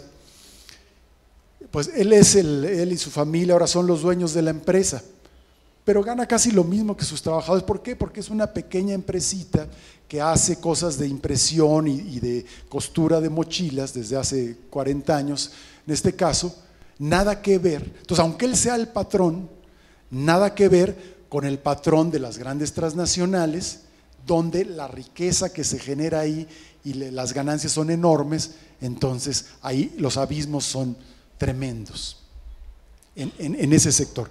La siguiente, por favor. Bueno, una cosa muy llamativa es cómo las élites latinoamericanas son muy persistentes, cómo han sabido mantenerse con diferentes gobiernos en diferentes épocas históricas. Si vemos los apellidos eh, que eran ricos en el porfiriato, siguen siendo ricos ahora a pesar de que hubo una revolución mexicana. Algunos perdieron, algunos les quitaron las haciendas, hubo reformas agrarias, pero ahí se mantienen, se reconvirtieron. Ya no son terratenientes, ahora son terratenientes urbanos, ahora son banqueros, políticos, se han mantenido. Cambian, por supuesto, algunos miembros individuales de la élite salen, pueden ser derrotados, pueden entrar en desgracia, pueden eh, verse afectados, pero en general se mantienen, pese a que hubo independencia, con la independencia se fueron los peninsulares, pero se quedaron los criollos. Eh, con la Revolución Mexicana sí perdieron algunos terratenientes, pero la mayor parte se reconvirtió. Cuando vino la globalización, pues sí hubo cambios y etcétera, etcétera, pero se reconvirtieron a la globalización. Entonces, esa persistencia de las élites también explica una parte de la, de la desigualdad con una cierta esto es relativo, es cierta endogamia, cierta homogeneidad étnica, ricos que se casan con ricos. Hay, hay, este, hay excepciones, si no hubiera excepciones no habría telenovelas, pero, el, pero son, son excepciones que confirman la regla. En general se mantiene mucho de la composición étnica de esa, de esa élite. Hay, por supuesto, indígenas o negros que llegan a ser parte de la élite, pero son excepciones una vez más. Y eh, por último, el otro factor, la siguiente, por favor, tiene que ver con la debilidad de los mecanismos para reducir las desigualdades. Si vemos las diferencias de ingreso entre que hay en México y en Inglaterra o en algunos países de Europa, antes de impuestos y transferencias no son tan distintas. Es decir, hay una desigualdad equivalente, pero como entran los impuestos, se reduce mucho la desigualdad. O sea, que estoy tratando de decir que si en México hubiera una estructura de impuestos progresiva que grabara realmente a los ingresos más altos y sobre todo, como dice Piketty, al capital, porque muchas de las grandes ciudades, lo del 1% más rico no es porque sean trabajadores muy bien pagados, es porque tienen capital. Si, si ahí hubiera una estructura de impuestos progresiva y luego el gasto público no se fuera en corrupción y se gastara realmente hacia toda la población y en especial hacia los sectores y regiones más necesitadas, seríamos un país desigual, pero con una desigualdad similar a la que existe en Europa. Entonces, esto fue causado por años de colonialismo, por años de discriminación, por racismo estructural, por esa desigualdad territorial, pero para ser derribado se necesita una política estatal que reduzca las desigualdades, con una reforma fiscal muy seria y con un gasto social también muy bien pensado para que toda la población tenga acceso a salud pública universal y a educación pública de buena calidad. En México ya casi todo el mundo tiene acceso a la educación pública, pero no todos con la misma eh, calidad. Entonces, esa, esa debilidad del Estado lleva a que el Estado social o sea muy débil, no alcance a todo el mundo, o, esté segmentado. ¿Qué quiere decir eso de Estado segmentado? Pensemos en las pensiones. En la Ciudad de México hay pensión universal después de López Obrador, pero ¿cuánto recibe alguien que, que está en el programa de adultos mayores del, DF? ¿Son 1.100 pesos o no, sé la cantidad? Medio salario mínimo, ¿no? Me parece. ¿Mm? ¿Cómo? Gurría en Afinsa, que además tiene su salario por ser de la OCDE, es de 180 mil mensuales. Es decir, si hay jubilación para todos, bueno, para algunos ni siquiera tienen jubilación. La mayor parte tiene 1.100 pesos de jubilación, algunos por el Seguro Social tendrán 2.000, 3.000, 4.000, 5.000. En el ISTE el tope es eh, 22.000, eh, 10 salarios mínimos luego hay algunos que tienen un poco más del sector privado y luego las hiperjubilaciones de los funcionarios. Entonces sí es un Estado que le da jubilación, pensión jubilatoria a casi todos, pero a uno se les da de 180 mil y a otro de mil. O sea, se reproduce la... O pensemos en el caso de la salud pública. Hasta hace poco había población que no estaba, que no tenía ningún tipo de salud pública. Hoy existe el seguro popular, pero con unas colas tremendas, con una escasez de medicinas, con esperar este, varios meses para poder ser operado. Eh, uno de mis hermanos murió porque no tuvo turno para ser operado en el Seguro Social. Ya sabía, era una operación relativamente sencilla, pero le daban eh, cuatro meses para ser operado y en lo que organizábamos para que se operara en una clínica privada murió unos días después. Es decir, sí hay salud pública, pero por clase social. A algunos les toca el seguro popular, si están muy lejos, a veces ni el seguro popular, porque ahí no hay médicos en donde viven. A otros ya les toca el seguro social o el ISTE, que tienen sus desventajas, y otros, una minoría, tiene un seguro de gastos médicos mayores pagado por el Estado. Entonces, nuevamente, es un Estado social, pero segmentado por grupos sociales. Y el, problema en, una, en una región tan desigual y con un estado social débil, es muy fácil que se reproduzca el elitismo y el populismo y la oscilación entre los dos. ¿Por qué el populismo? Porque si la, si la mayoría de la población tuviera acceso a educación pública de buena calidad, a servicios públicos de buena calidad, a salud de buena calidad, a poder conseguir permisos eh, que necesite para su negocio, porque sea fácil, o empleo, no necesitaría acudir a los líderes clientelares. Pero como eso no existe, como no funcionan bien o funcionan solo para un sector, la mayoría de la población tiene que eh, acudir a las redes clientelares para satisfacer sus necesidades. Aparte de que los ricos también tienen sus redes clientelares. Entonces, en América Latina vemos una oscilación política que en estos días, no, me voy a extender en el tema político, no es el tema de la charla, pero es imposible no mencionarlo después de lo que ha ocurrido hace unos días en Brasil, lo que está ocurriendo en Venezuela, lo que ocurre en diferentes países, porque eh, la desigualdad creció mucho en América Latina en, la década de los 80 y los 90, por la década perdida y, los principios de la globalización y el neoliberalismo. Entonces hubo una reacción, gobiernos de izquierda que trataron de enfrentar eso, que incrementaron el gasto social, no fue totalmente efectivo, no se redujo mucho la desigualdad, pero sí un poco, al final voy a hablar de eso. Pero ha ocurrido muchas veces a lo largo de la historia de América Latina esto, se exacerba la desigualdad y entonces eso provoca un caldo de cultivo para que eh, surjan gobiernos que intenten enfrentar eso. Pero es tan fuerte la desigualdad que no logran resolver mucho, que hacen un poco, pero que generan un rechazo de esa élite tan consolidada que luego eh, reacciona y generalmente gana a las clases medias o a un sector muy importante de las clases medias y entonces derriba a esos, este, a esos gobiernos, que muchas veces se les llama populistas, no todos lo son, pero a esos gobiernos, y entonces vemos una oscilación, golpes militares o golpes, ahora no militares, pero de otro tipo, que eh, hacen a un lado a estos gobiernos, no estoy defendiendo ni criticando esos gobiernos, habría que analizar caso por caso, es muy distinto, no es lo mismo Dilma que Maduro, que Evo Morales, que eh, los gobiernos de izquierda en Uruguay, son muy distintos. Entonces, no, no, no quiero esa lo que quiero es simplemente señalar cómo esta oscilación cómo hubo gobiernos similares a esos en los años 30, eh, con Cárdenas, 40, 50, en varios países de América Latina, y luego cómo hubo contrarreformas o incluso golpes militares, luego también eh, eh, el Chile de Allende en los 70 y los golpes militares de los 70. Entonces es algo que es más o menos endémico en América Latina y tiene mucho que ver con esta,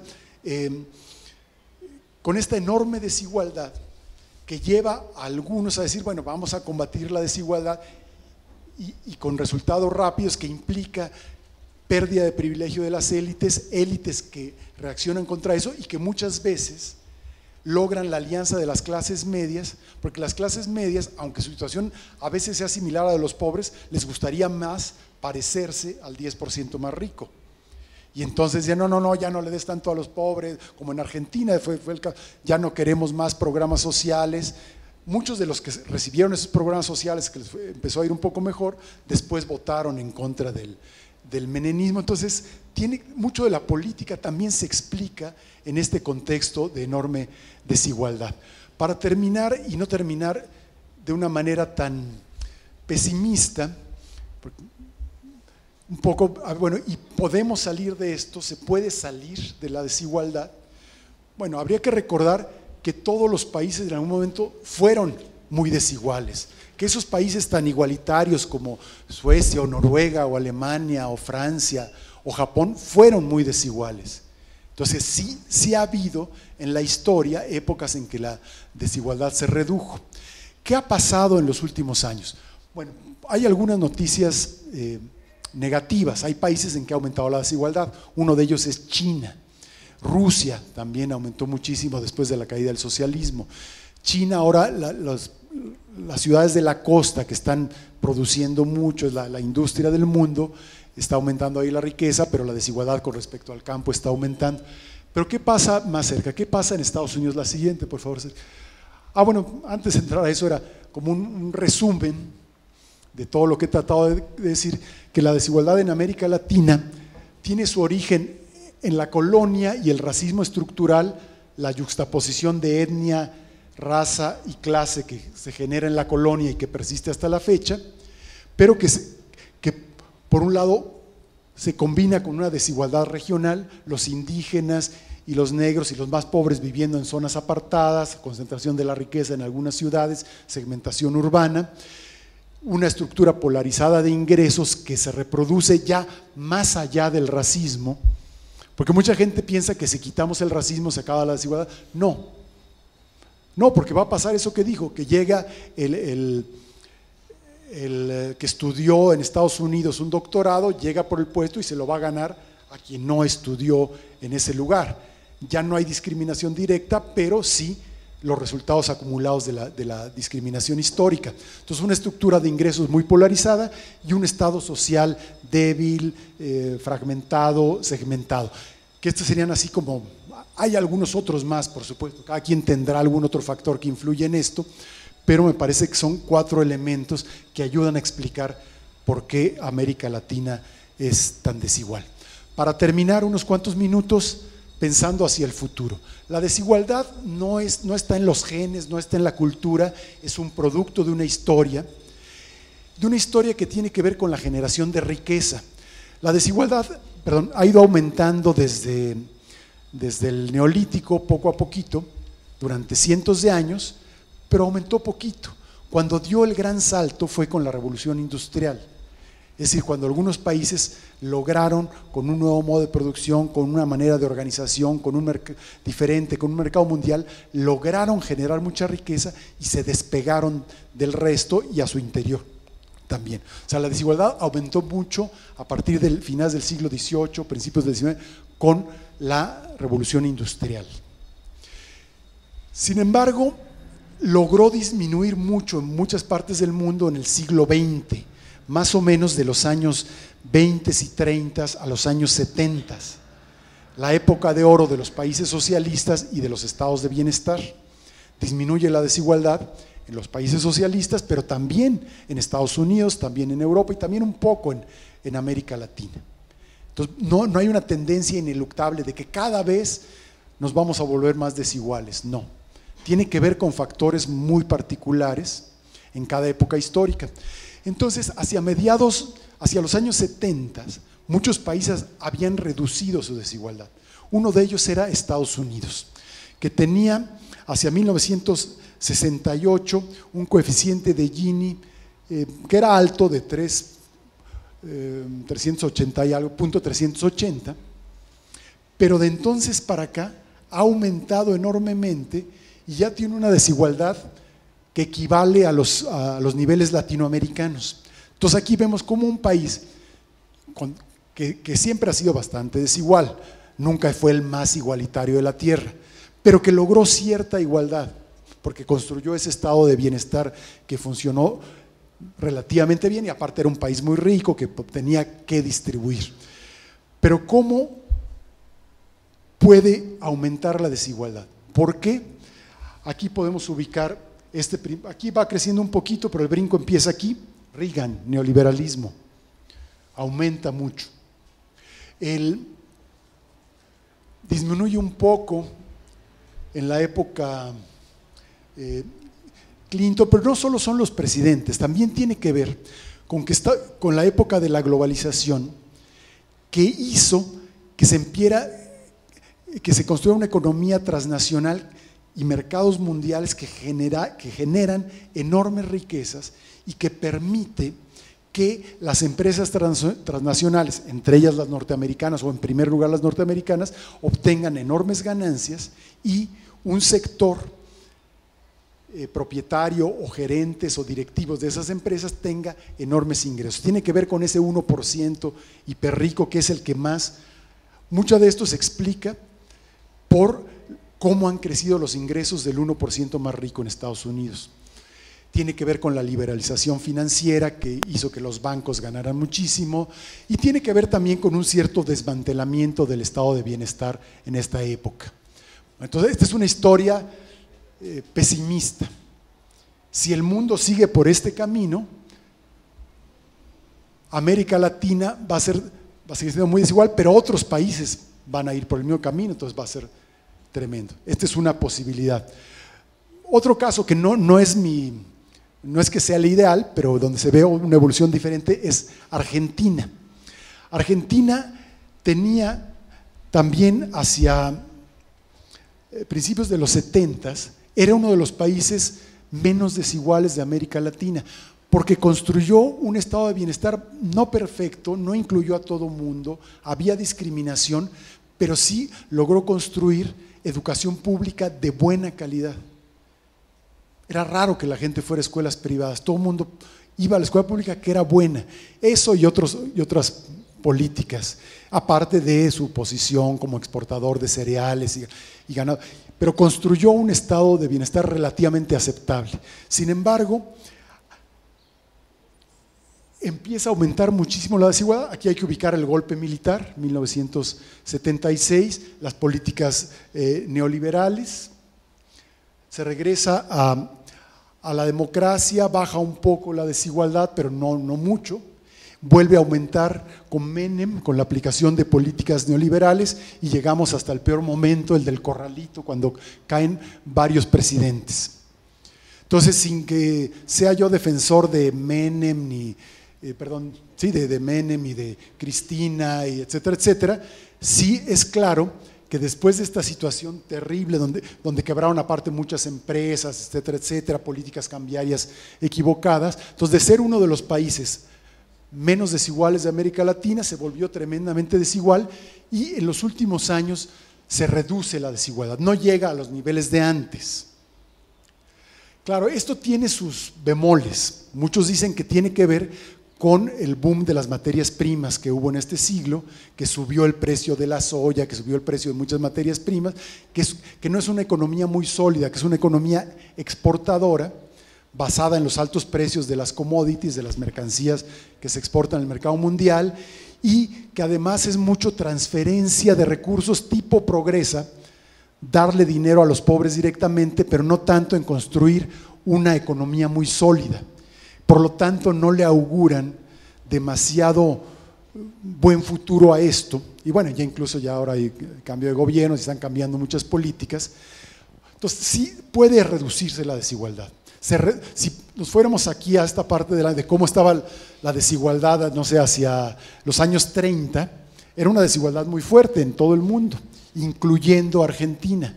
Entonces disminuyó mucho con políticas sociales adecuadas e impuestos adecuados, vuelve a aumentar en el contexto de la globalización políticas equivocadas, dictadura militar, eh, estancamiento económico en la década perdida de los 80 y puede disminuir. Entonces no es un futuro esperanzador, pero por lo menos nos permite decir que no es una fatalidad.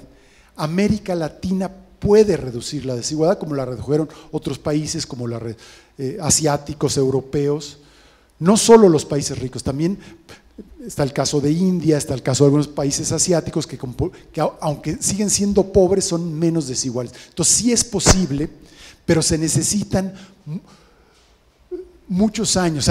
no se puede llegar de aquí a acá en un año, se necesitan varias décadas. Entonces se necesitan gobiernos con políticas antidesigualdad que duren varias décadas no de, repartir dinero así a lo eh, rápidamente, no, que cambien la estructura de ingresos, que cambien la estructura de impuestos, que cambien la salud pública, la educación, la distribución regional, sí es posible em, lograrlo.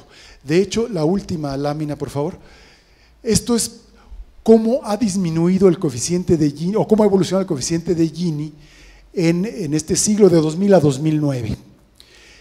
En muchos países de América Latina bajó, bajó muy poquito. Aquí es cambio porcentual, 1.71. ¿Qué quiere decir esto? Que si un país, por ejemplo, eh, Argentina, que baja como el 1%, tenía punto 400, eh, no, punto 500 de Gini, el 1% sería que pasó a punto 480 y tantos, o punto, o sea, es muy poquito pero sí vemos que disminuye en esta época. Aumenta en algunos casos, pero muy poquito, en Uruguay, Costa Rica, Guatemala y sobre todo en Nicaragua, pero en el resto, de, en China y la India aumenta.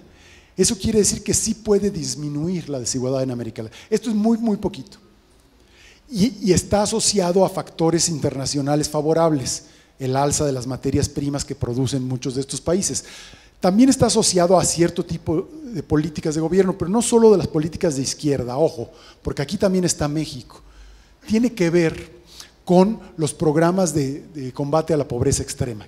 ayudan, pero ayudan muy poquito. Lo realmente importante sería que hubiera sistemas de una política social de largo plazo, educación, salud, eh, igualdad regional, cultura. Para mí la, historia mm, que me parece más prometedora, no solo por el plazo reciente, sino históricamente, es la de Uruguay. Uruguay, si se acuerdan los primeros mapas, es el menos desigual de América Latina. Eso también le hace que, no haya vaivenes políticos tan fuertes. En esta tormenta política que hay ahora en América Latina, Uruguay ahí se mantiene. No está tan polarizada la política porque tampoco está tan polarizada la economía y más que meterle mucho dinero a transferencias hacia los pobres, que pueden ser positivas, le han metido mucho al sistema de educación, al sistema de salud, tratar de crear la igualdad desde el jardín de niños, desde el preescolar, eh, fueron de los pioneros o de los que más desarrollaron al principio, ahora ya se hace en muchos lados, de eh, dar computadoras a los niños de los sectores más pobres desde muy temprana edad para que alfabetizaran digitalmente a su familia, eh, el sistema de salud. Es decir, se parece mucho más a un Estado social fuerte, duradero, porque el problema de los programas de transferencias es que llega otro gobierno y los elimina como están recortando ahora muchos programas en Argentina o hace algunos años en España. En cambio, cuando lo que se crea es un sistema educativo y de salud igualitario, eso no se desmonta tan fácil, ni, hay argumentos para, eh, para desmontarlo. Entonces, sí es posible, pero hay que remontar muchos siglos de historia que han dejado sedimentada una gran desigualdad. Bueno. Espero que la nueva generación de universitarios combata la desigualdad, como la combatieron otras generaciones en la historia de América Latina, con mayor o menor éxito. Luego hubo una que se le, por diferente razón, no porque estudiaba mal esa generación, sino porque el contexto fue muy desfavorable, que dejó de lado la desigualdad. Espero que estas conferencias sean signo de que vamos a tener una generación latinoamericana que busque remontar estos datos de de desigualdad. Muchas gracias.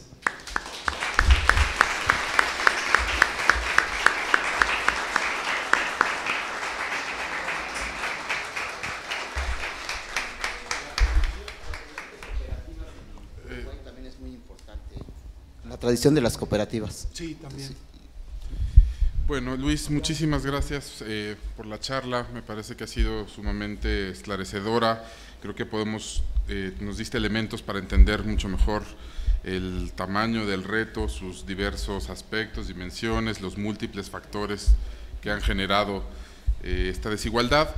Eh, más o menos también quedaron trazados algunos caminos que habrá que seguir a nivel regional, a nivel nacional, para combatir la desigualdad, pero un poco retomando tu comentario final, este, cuando interpelabas a los jóvenes universitarios, eh, me queda la duda, digamos, parece como si las causas y también las acciones para eh, que generan eh, o que combaten la desigualdad fueran todas de orden de políticas públicas, de macroeconómicas. Sin embargo, me gustaría que eh, compartieras algunas reflexiones de qué podemos hacer los, a nivel micro, los ciudadanos, la sociedad civil, los estudiantes universitarios, eh, tal vez no para acabar con la desigualdad, pero para sobrellevarla, para, digamos, desde nuestras pequeñas trincheras, cómo podemos enfrentarla. Tomamos varias. Tomamos varias, sí.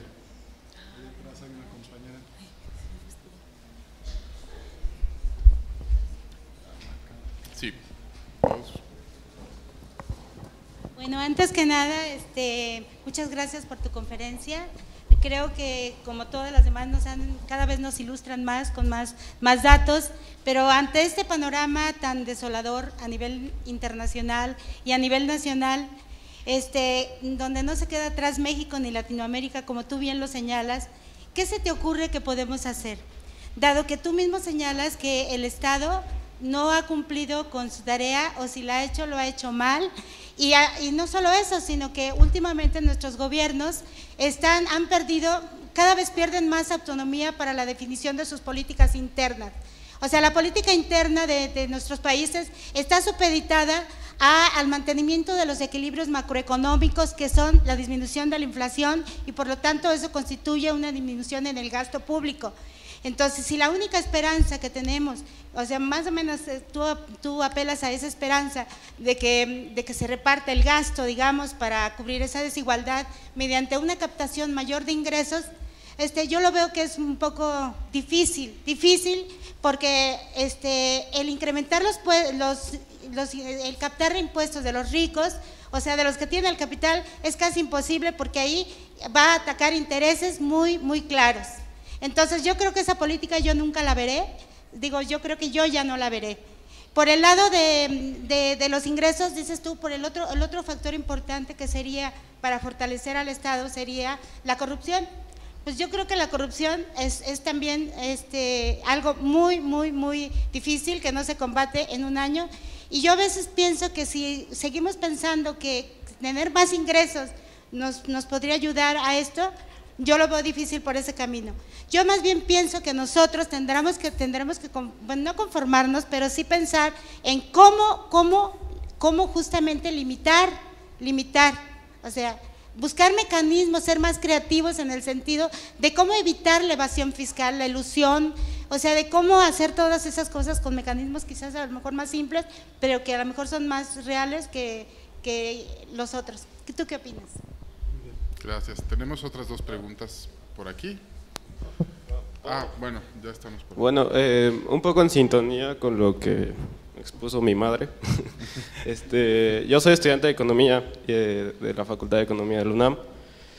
Y uh, bueno, eh, me preocupa bastante cuando se habla con, de temas de desigualdad económica y se remiten a Piketty, porque el, el, instrumental teórico de donde procede Piketty eh, únicamente contempla eh, las políticas redistributivas. Es decir, eh, asume Piketty que los mercados son competitivos y que no podemos, eh, a partir de política fiscal expansiva, política monetaria expansiva, intervenir dentro de los mercados. Que la única alternativa es la construcción de un Estado social, políticas de educación, políticas de salud, pero eh, eso es paradójico dado que la etapa de mayor disminución de la desigualdad eh, durante el siglo XX fue la etapa de la mayor expansión del gasto público. Pero además fue la etapa donde los capitales financieros estaban sumamente regulados. Entonces, por ejemplo, yo creo que hablar de la disminución de la desigualdad en América Latina, sin hablar sobre la necesidad de un nuevo eh, consenso internacional de regulación de la, del sistema financiero, eh, un Basilea 4 que realmente cumpla con los objetivos eh, de regulación del sistema financiero, eh, es como hablar de, de, de, que se va a disminuir la desigualdad a partir de más y, y mejores programas como Prospera. Yo creo, yo creo que Prospera es importante, pero sin, sin una mano o una dirección del Estado como las eh, teorías eh, cepalinas, eh, en algún punto dijeron, no sirve para nada. Y esto es, este, bueno, es bastante actual. La, vuelta a la derecha en América Latina, en, en, Argentina, en Brasil, coincide con el fracaso de un modelo eh, económico fracasado que eh, únicamente eh, sobrevivió a partir del superciclo de los precios de de los commodities. Y una vez que se termina ese superciclo, Dilma acude a las mismas políticas de, austeridad que habría acudido cualquier eh, gobierno de derecha. La crisis eh, de la izquierda en parte se debe a, la falta de imaginación y de preparación técnica en términos eh, o aspectos económicos. No sé, ¿tú qué opinas? A mí me parece que la construcción de un Estado social es insuficiente. Tenemos que, que, ser claros, la política fiscal, la política monetaria, la desregulación eh, y privatización de los mercados son aspectos centrales eh, eh, que no deben de soslayarse. La política macro, macroeconómica no debe eh, buscar únicamente los objetivos de, de, estabilidad macroeconómica. Debe disminuir. Gracias. El caso de la India es sorprendente. Vamos con estas dos primero, o tres. Sí, el, sobre lo que pregunta Toño, ¿qué se puede hacer a nivel micro? Bueno, sí, yo hablé de grandes políticas, pero ese problema macro tiene su origen también en algo muy micro, que fue eh, la discriminación y el racismo. O sea, si la piedra angular de la desigualdad en América Latina fue la, la explotación colonial, entonces la decolonización será una pieza importante para que pueda destrabarse esa, dificultad. Entonces, en ese sentido, creo que mucha gente ha hecho mucho en las últimas décadas con la crítica a el colonialismo, a la discriminación, con la reivindicación de los derechos indígenas, porque eso le está quitando legitimidad a, a esa desigualdad monstruosa. ¿Por qué se permitía que fueran tan diferentes? Ah, porque ellos son indígenas y nosotros somos españoles. Ah, porque ellos son negros, pueden ser esclavos, nosotros somos blancos. Entonces, a nivel micro podemos ir combatiendo, porque aquí hablé de muchas cosas muy económicas, pero en el fondo de todo esto está una, cuestión cultural, una cultura, una cuestión cultural muy discriminatoria, muy excluyente, que los movimientos sociales y las personas en lo, en lo particular han ido cambiando a nivel micro y eso tiene efectos. No hablamos mucho de la desigualdad de género, pero el cambio que se ha dado a nivel micro en cada hogar, en cada escuela, en cada familia, en las relaciones entre los géneros, ha hecho que se reduzca mucho en América Latina y en otras partes del mundo la desigualdad más vieja de la historia, la que existe entre los géneros. Ha habido políticas públicas, por supuesto, pero no es eso lo que ha creado igualdad en ese caso. Entonces, no quiero decir con esto que no, que ya esté resuelto el problema de la desigualdad de género, sigue habiendo un machismo terrible, una violencia de género impresionante, eh, y que se ha vuelto más fuerte con el tema de la violencia en, varios países, pero se ha avanzado muchísimo y, se debe a ese cambio molecular. Entonces, ese cambio a nivel molecular micro se puede ir haciendo a la hora que eh, ver cómo se redistribuyen los ingresos en cada unidad productiva, en cada cooperativa, en cada empresa, en cada escuela, en cada universidad, en cada eh, región. Entonces se puede hacer mucho a nivel micro, pero tiene sus límites, tiene también que llegar a eh, cambios a un nivel más nacional. Entonces creo que sí, que sí se puede ir haciendo, creando nuevas unidades económicas más... Este, cooperativas. Más igualitas, pueden ser empresas, pero porque dicen, no, no, pero es que ah, van a ser empresas capitalistas. Sí, pero dentro de las empresas capitalistas hay algunas más igualitarias que otras, entonces también se puede hacer mucho. Y a nivel de, microempresas y a nivel de combatir el, el racismo día con día y la desigualdad día con día. Ahora, pero digo, se necesitan también hacer cosas a nivel más general. Y esto nos conecta con la siguiente pregunta de la compañera. pero el problema es que los estados han perdido mucha, mucha autonomía en el contexto internacional. ¿Qué pasa si un estado pone impuestos muy altos? Se van los capitales a los paraísos fiscales y a los a Panamá, ¿no? Ahí lo vamos con los Panama Papers, todo lo que ha habido. Entonces sí es cierto que tienen menos autonomía. Además, ¿cómo regulas a una empresa transnacional que está en todo el mundo y que si le pones una serie de requisitos para que pague mejor, pague más impuestos, se va a otro país? Entonces sí es cierto que se ha perdido autonomía, pero no absolutamente. Porque esa pérdida de autonomía opera para todo el mundo y por qué algunos países sí han avanzado hacia ser más igualitarios que otros. Eso quiere decir que aunque es pequeño, sí sigue habiendo un margen. Y porque además el, capitalismo se enfrenta a grandes riesgos si exacerba la desigualdad exageradamente. Por un lado le conviene la desigualdad, de eso vive, pero si la lleva demasiado lejos, se vuelve un problema. Entonces, es mucho más sólido en aquellos países que han combatido la desigualdad y que han creado una estructura más igualitaria. Entonces, sigo pensando que existe un margen, aunque no es mucho, aunque la situación internacional determina mucho, se puede hacer algo a nivel local porque ese gasto público se puede gastar más o menos corruptamente, se puede gastar inteligentemente en cosas estructurales, como hacía el compañero, en programas que generen una economía sólida a largo plazo que simplemente en repartir despensas. Eh, se puede hacer de una manera más progresiva o más regresiva. Sí, no puede haber eh, un cambio radical de pasar de un impuesto sobre la renta de tasa, ahorita el tope máximo está en 34%, no podemos pasar a 50% de la noche a la mañana, pero sí podemos pasar a 36 o 37 o 38 para los salarios más altos y eso significa eh, muchos recursos. Entonces, el margen es poco, pero dentro de ese margen se puede hacer. Eh, ahora, es muy interesante esta pregunta. Todo hay que solucionarlo con mayores ingresos que esto nos mete con el tema del decrecimiento, con las políticas que dicen, bueno, es que si todo mundo gastara como se gasta en los países ricos, nos acabamos el planeta. Entonces, la igualdad también tiene que contemplar este tema de la sustentabilidad, el tema ecológico, porque el ideal no sería que todos tuviéramos, todos los países tuvieran el ingreso promedio que tienen hoy los países europeos o Estados Unidos, o con el consumo energético de Estados Unidos, entonces sí, si ya el planeta está bastante dañado, sería el, acabose. Entonces, es cierto, ¿no? La solución no está en que aumenten los ingresos, pero sí en achatar los ingresos de arriba, porque para que puedan, porque el, el decrecimiento también se tiene que plantear según la situación.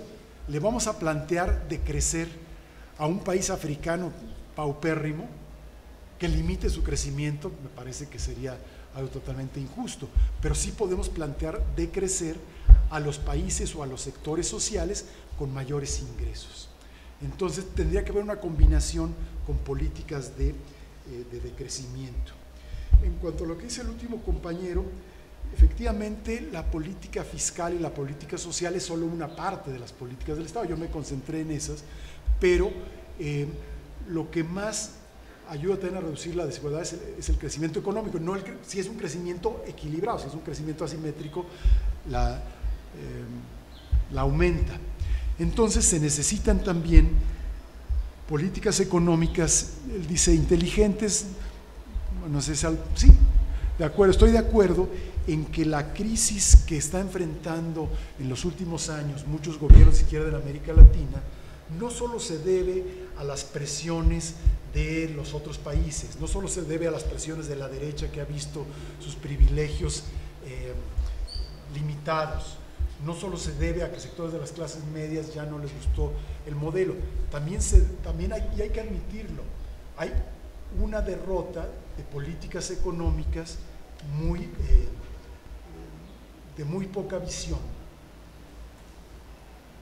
o sea, Venezuela es un desastre económico, hasta Mújica, a quien no se le puede acusar de derechista, ven lo que sacaba ayer en las noticias, dice que Maduro está loco como una cabra. O sea, hay, aparte de todos los conflictos políticos y de la derecha y de la conspiración internacional, si ustedes quieren, también es cierto que se agotaron las políticas económicas de algunos de estos países que pensaban que simplemente con redistribuir con programas sociales hacia los pobres, si iba a acabar esto, y no con una política que permitiera la, sostenibilidad, no, no solo en términos ambientales, sino económica. Y entonces se, pelearon con la mayor parte de los empresarios, eh, hubo políticas de control. Es, bueno regular los mercados, pero hasta cierto punto. Pero, pero entonces también ahí eh, habría que hacer una autocrítica de las políticas económicas de la izquierda en América Latina que se volvieron insostenibles en muchos casos y qué gobierno puede resistir cuando hay racionamientos, cortes de energía, cortes de agua, eh, problemas de, escasez enormes, porque no es que la oposición venezolana sea maravillosa o que los que quitaron a Dilma sean maravillosos, que también hay muchos corruptos en el caso de Brasil, pero si están avanzando es porque había también un desastre económico, eso no, eh, no se puede eh, ocultar. Em, en cuanto a lo de Piketty, efectivamente no basta con una política de redistribución. Las políticas de redistribución tienen sus límites. Es importante que en la distribución primaria, es decir, en lo que se percibe antes de impuestos, haya cierta igualdad. Y aquí esto lo ligo con algo que no preguntaron, pero que es una de las nuevas desigualdades más importantes, que es el desempleo. Ahorita las nuevas desigualdades tienen que ver con que la mayor parte de la población, sobre todo de la población joven, no tiene acceso a un empleo de calidad. Entonces creo que la otra cosa que habría que hacer es redistribuir el empleo y el desempleo. No nos sirve un mundo donde la mitad de la población tiene un empleo digno y la otra mitad no. Sería mejor que todos tuviéramos un empleo digno, aunque fuera con menos ingresos, no crecer necesariamente todos, pero sí de manera más, más pareja. Entonces, pero este tema del desempleo, que es actualmente una de las principales fuentes de desigualdad, ya rebasa un poco lo que íbamos a platicar hoy, porque eso no es particular de América Latina, también está en Grecia, en España, en Portugal y en otras partes del mundo. Ya, ya es otro problema que no es solo de América Latina, pero, pero que hay que atender. Estaba Víctor, estaba Carlos. Sí, tenemos otras preguntas. Este, Nada más retomando lo último que acabas de decir, anunciarles que vamos a tener una conferencia el mes de septiembre de la doctora Angela Giglia que justamente abordará la desigualdad en términos laborales. Eh, ahora sí, por favor. Eh, um, agradecerte mucho, Luis. Eh, fue muy enriquecedor, muy interesante. Le quedan a uno muchas ideas después de tu, de tu charla. Eh, son cosas que hemos eh, comentado en otros momentos, eh, pero me parece que siempre es valioso escucharte y tus aportaciones son, son importantes para mí. Quisiera que abundaras un poco más en una de las últimas líneas que pusiste en las gráficas del final sobre la desigualdad en términos de redes sociales, la desigualdad que está vinculada por supuesto en la educación, que está por supuesto vinculada a la obtención de empleo, a la satisfacción de otras necesidades, incluso pues, más inmediatas como en salud. Eh, el asunto de que los pobres tienen no solamente dificultades de acceso a recursos, sino también poco capital social. Tenemos personas que básicamente están solas en el mundo, eh, no tienen a quién recurrir cuando están enfermas o para buscar un trabajo, y personas que conforme van avanzando, eh, digamos, subes en este inicio Gini, seguramente encontrarás redes sociales más amplias, más eh, diferenciadas, más eh, con mejor eh, estructura. Yo creo que ahí podrías quizá tú, por tu experiencia etnográfica, abundar mucho más, es un tema que también me interesa y hemos trabajado antes.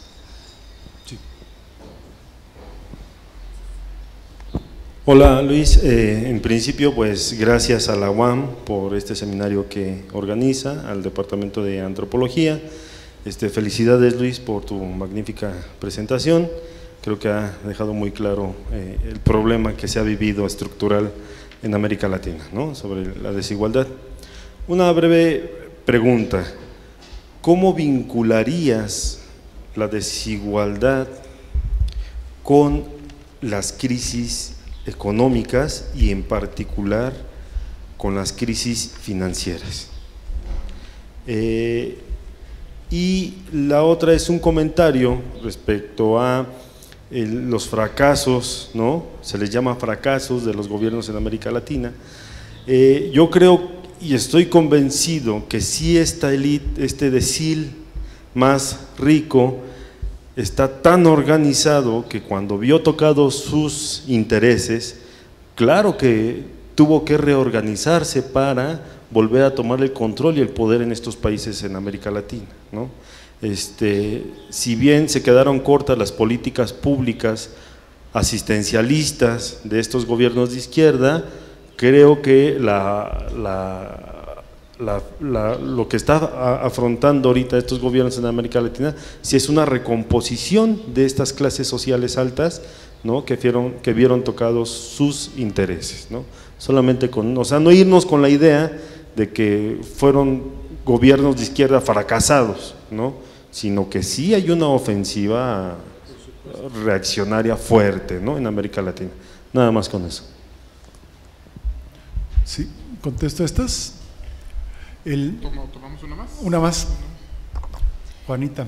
Mil gracias. Gracias por la invitación. No, gracias a ti por, por esta descripción. Una de las cosas, cuando decías, para no acabar tan pesimistas, una de las cosas que hemos compartido quienes hemos acompañado el seminario es justamente que terminamos un poco agobiados, y no es que mucho, porque el panorama que se nos presenta en varios ángulos, pues sí es, eh, es preocupante, pero esa es una de las intenciones de este seminario, ¿no?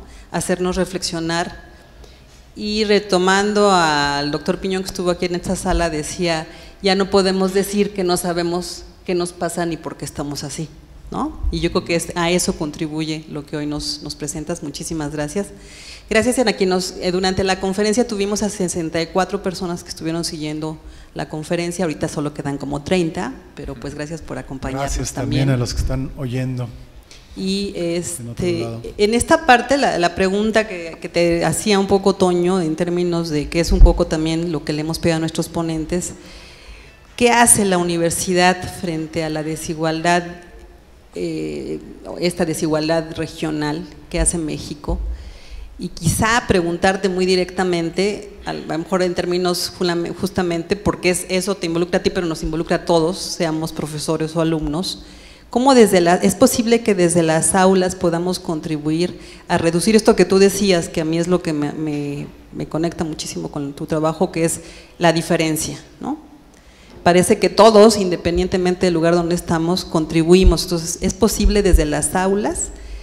Tiene que ser solamente desde las aulas de ciencias sociales, como eh, un poco invitarnos ¿no? a todos, a, un poco eh, que tú nos pudieras decir, bueno, ¿cómo hacemos desde las aulas? Porque tú lo señalaste bien, además de la parte estructural, esta otra parte de entre los, el significado y, lo que otorgamos y que ponemos en el otro, como cercano o diferente, justifica buena parte de la desigualdad. Entonces, gracias. Em, bueno, comienzo con lo más general de las crisis y luego lo de las redes y la universidad. Es muy,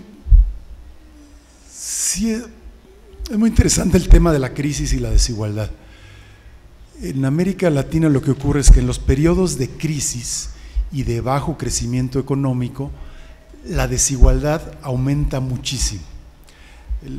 Caso claro, es la década de los 80, la famosa década perdida para el crecimiento, fue también la década en que aumentó nuevamente la desigualdad que había disminuido un poco. Veíamos en el caso de Argentina cómo aumentó. Fue el golpe militar, sí, las ofensivas también de la derecha, pero, pero fue la, la crisis misma. ¿Por qué? Porque cuando hay crisis hay desempleo y una parte muy importante de la población no tiene ingresos o tiene ingresos muy bajos y el Estado no les puede ayudar porque también la crisis hace que bajen los ingresos del Estado, a menos que el Estado tenga reservas o pida préstamos. Fue lo que se trató de hacer. Se pidieron préstamos para tratar de eso, pero se pidieron más préstamos de lo que se podía pagar y se volvió crisis de la deuda y se volvió peor la cosa. Y luego en los periodos de crecimiento, es posible reducir un poco la desigualdad. En un país igualitario lo que ocurre que es que en el, momento de la crisis el Estado tiene suficientes recursos para que no aumente tanto la desigualdad, aunque aumenta. Y en el periodo de crecimiento logra compensar y entonces se mantiene a largo plazo la misma desigualdad. Pero en países de América Latina no. Si, la, si el Gini aumenta 20 puntos en un periodo de crisis, luego en un periodo de crecimiento disminuye solo 6 y entonces va siendo más desigual. Entonces, por un lado, tiene que ver con eso. Las crisis en general, los periodos de crisis hacen que aumente la desigualdad. En países muy desiguales esto es peor, pero hay otra relación mucho, muy interesante. No es casualidad que las dos grandes crisis financieras de la historia, ha habido muchas, pero las más grandes, la de 1929 y la de 2008, hayan seguido los periodos en que mayor aumentó la desigualdad en el mundo. Casualidad o no, es algo que tiene que estudiarse más, pero hay quien dice que no es casualidad. Es decir, que la desigualdad también provoca crisis. desigualdad siempre hay en el capitalismo, pero cuando esta desigualdad se exacerba, se convierte en un problema para el propio ciclo económico. Y es lógico, porque si hay más desigualdad, hay más pobres, y entonces no hay quien consuma las mercancías, o por lo menos no manteniendo esas tasas de ganancia tan altas. Entonces, la ganancia baja porque no hay quien compre, entonces también hay una conexión en ese sentido. Entonces no es descabellado decir que el hecho de que hayan aumentado tanto las ganancias, en particular del capital financiero, eh, en los 15 o 20 años anteriores a la crisis de 2008, también contribuyó a la crisis. Y que la reducción de la desigualdad sea, una manera de, em, de salir de la crisis. O sea, ¿cuándo empezaron los estados de bienestar fuertes? Después de la crisis del 29. Bueno, no inmediatamente. O sea, la gran salida a la crisis del 29 y la, tremenda debacle económica de los primeros años 30 fue el Estado social, con Cárdenas en, México, con Roosevelt en Estados Unidos y con los estados sociales, luego con De Gaulle después de, de la guerra, todavía hubo el tema de la guerra, pero después de la guerra, entonces políticas igualitarias también pueden promover el crecimiento económico y no, no evitar las crisis, porque sigo habiendo, pero sí disminuirlas. Si hubiera un, un paralelismo histórico, lo, podríamos tener la esperanza de que esta enorme crisis, así como la enorme crisis del 29 fue seguida por una construcción de un Estado social a nivel nacional, que esta, que fue una crisis más internacional, más global, pudiera ser seguida en las próximas décadas por una construcción de un Estado social global. No, no me refiero a que haya un solo Estado, sino a medidas de, de igualación adecuadas al momento actual transnacional de la, de la economía. Bueno, el tema de las redes. La desigualdad también tiene que ver no solo con cuánto dinero tiene uno, sino también con qué redes tiene, con lo que Bourdieu llamó el capital social. Entonces muchos gobiernos, incluso el Banco Mundial, eh, hace algunos lustros dijeron, bueno, pues vamos a hacer programas que aumenten el capital social, que aumenten las redes, que las mejoren, que las hagan más ricas, más densas, más diversificadas, porque hubo estudios de que sectores que tenían el mismo dinero, digamos, que ganaban lo mismo, quienes tenían mejores redes les iba mejor. Pues es lógico, porque les permitían conseguir mejores trabajos, llegar a mejores escuelas, resolver problemas de salud, resolver problemas de deudas. Entonces, la desigualdad también se ve ahí en el tipo de redes. Pero ojo, tiene que ver no con la cantidad de personas que están en mi red, sino con lo diversificado y transclasista que sean mis redes y trans, e intercultural, podría decir. Porque, a ver, ¿los grupos indígenas tienen redes sociales? Por supuesto que tienen, son redes muy densas y muy ricas, tienen muchos compadres, muchos parientes, pero son redes de otros que están igual que ellos. Entonces, si hay crisis, estoy desempleado, voy con mi compadre y también está desempleado y no puede dar chamba, y el primo tampoco, y el vecino tampoco. Entonces, lo importante es que sean redes que logren eh, transgredir esas barreras simbólicas y materiales de las que hablamos, que permitan conectarse con otros sectores sociales, con gente de otras regiones, con gente con otras oportunidades. Entonces, no, no, no es solo la red de mis iguales, sino si, si una sociedad tiene redes interclasistas e interculturales. Y el problema es que en América Latina hay redes muy homogéneas, donde están solo los del mismo barrio, de la misma familia, del mismo sector social, igual de pobres que uno, y que conectan poco a los otros. Y entonces habría que promover ese tipo de relaciones eh, para, para tener otro tipo de... Y ahí entra la universidad. Si algo es maravilloso de las universidades, es que son espacios interculturales, interclasistas. Si nos ponemos a ver las personas de un barrio pobre de Chalco, los niños de ahí, ¿con quién conviven en, la, en el kinder, si es que van al kinder, en el preescolar? ¿Con quién conviven en la primaria? ¿Con quién conviven en la secundaria? E incluso hasta en la, a lo mejor en la prepa ya no, con personas de su mismo grupo social. Y la universidad es uno de los pocos espacios donde interactuamos personas de muy distintas clases sociales, de muy distintos grupos sociales, compartimos el conocimiento. Eso es lo maravilloso. Muchas veces después de la universidad la gente vuelve a su sector social y vuelve a su red. Pero en las universidades se pueden crear este tipo de, redes de otro tipo. Entonces, no solo es lo que hagamos a nivel micro contra el racismo, contra el, machismo, contra la desigualdad de género, también es si logramos crear, que la universidad se crean estas redes y si logran perdurar después de la universidad. Es un espacio eh, único en la vida de muchas personas donde aparte de aprender algo, una carrera de ciencias sociales o, de medicina o de ingeniería, se abre un mundo de oportunidades diferentes y si logramos que se dé esa convivencia y ese compartir saberes y cosas y que eso perdure más allá de la universidad, puede ser también una contribución muy importante.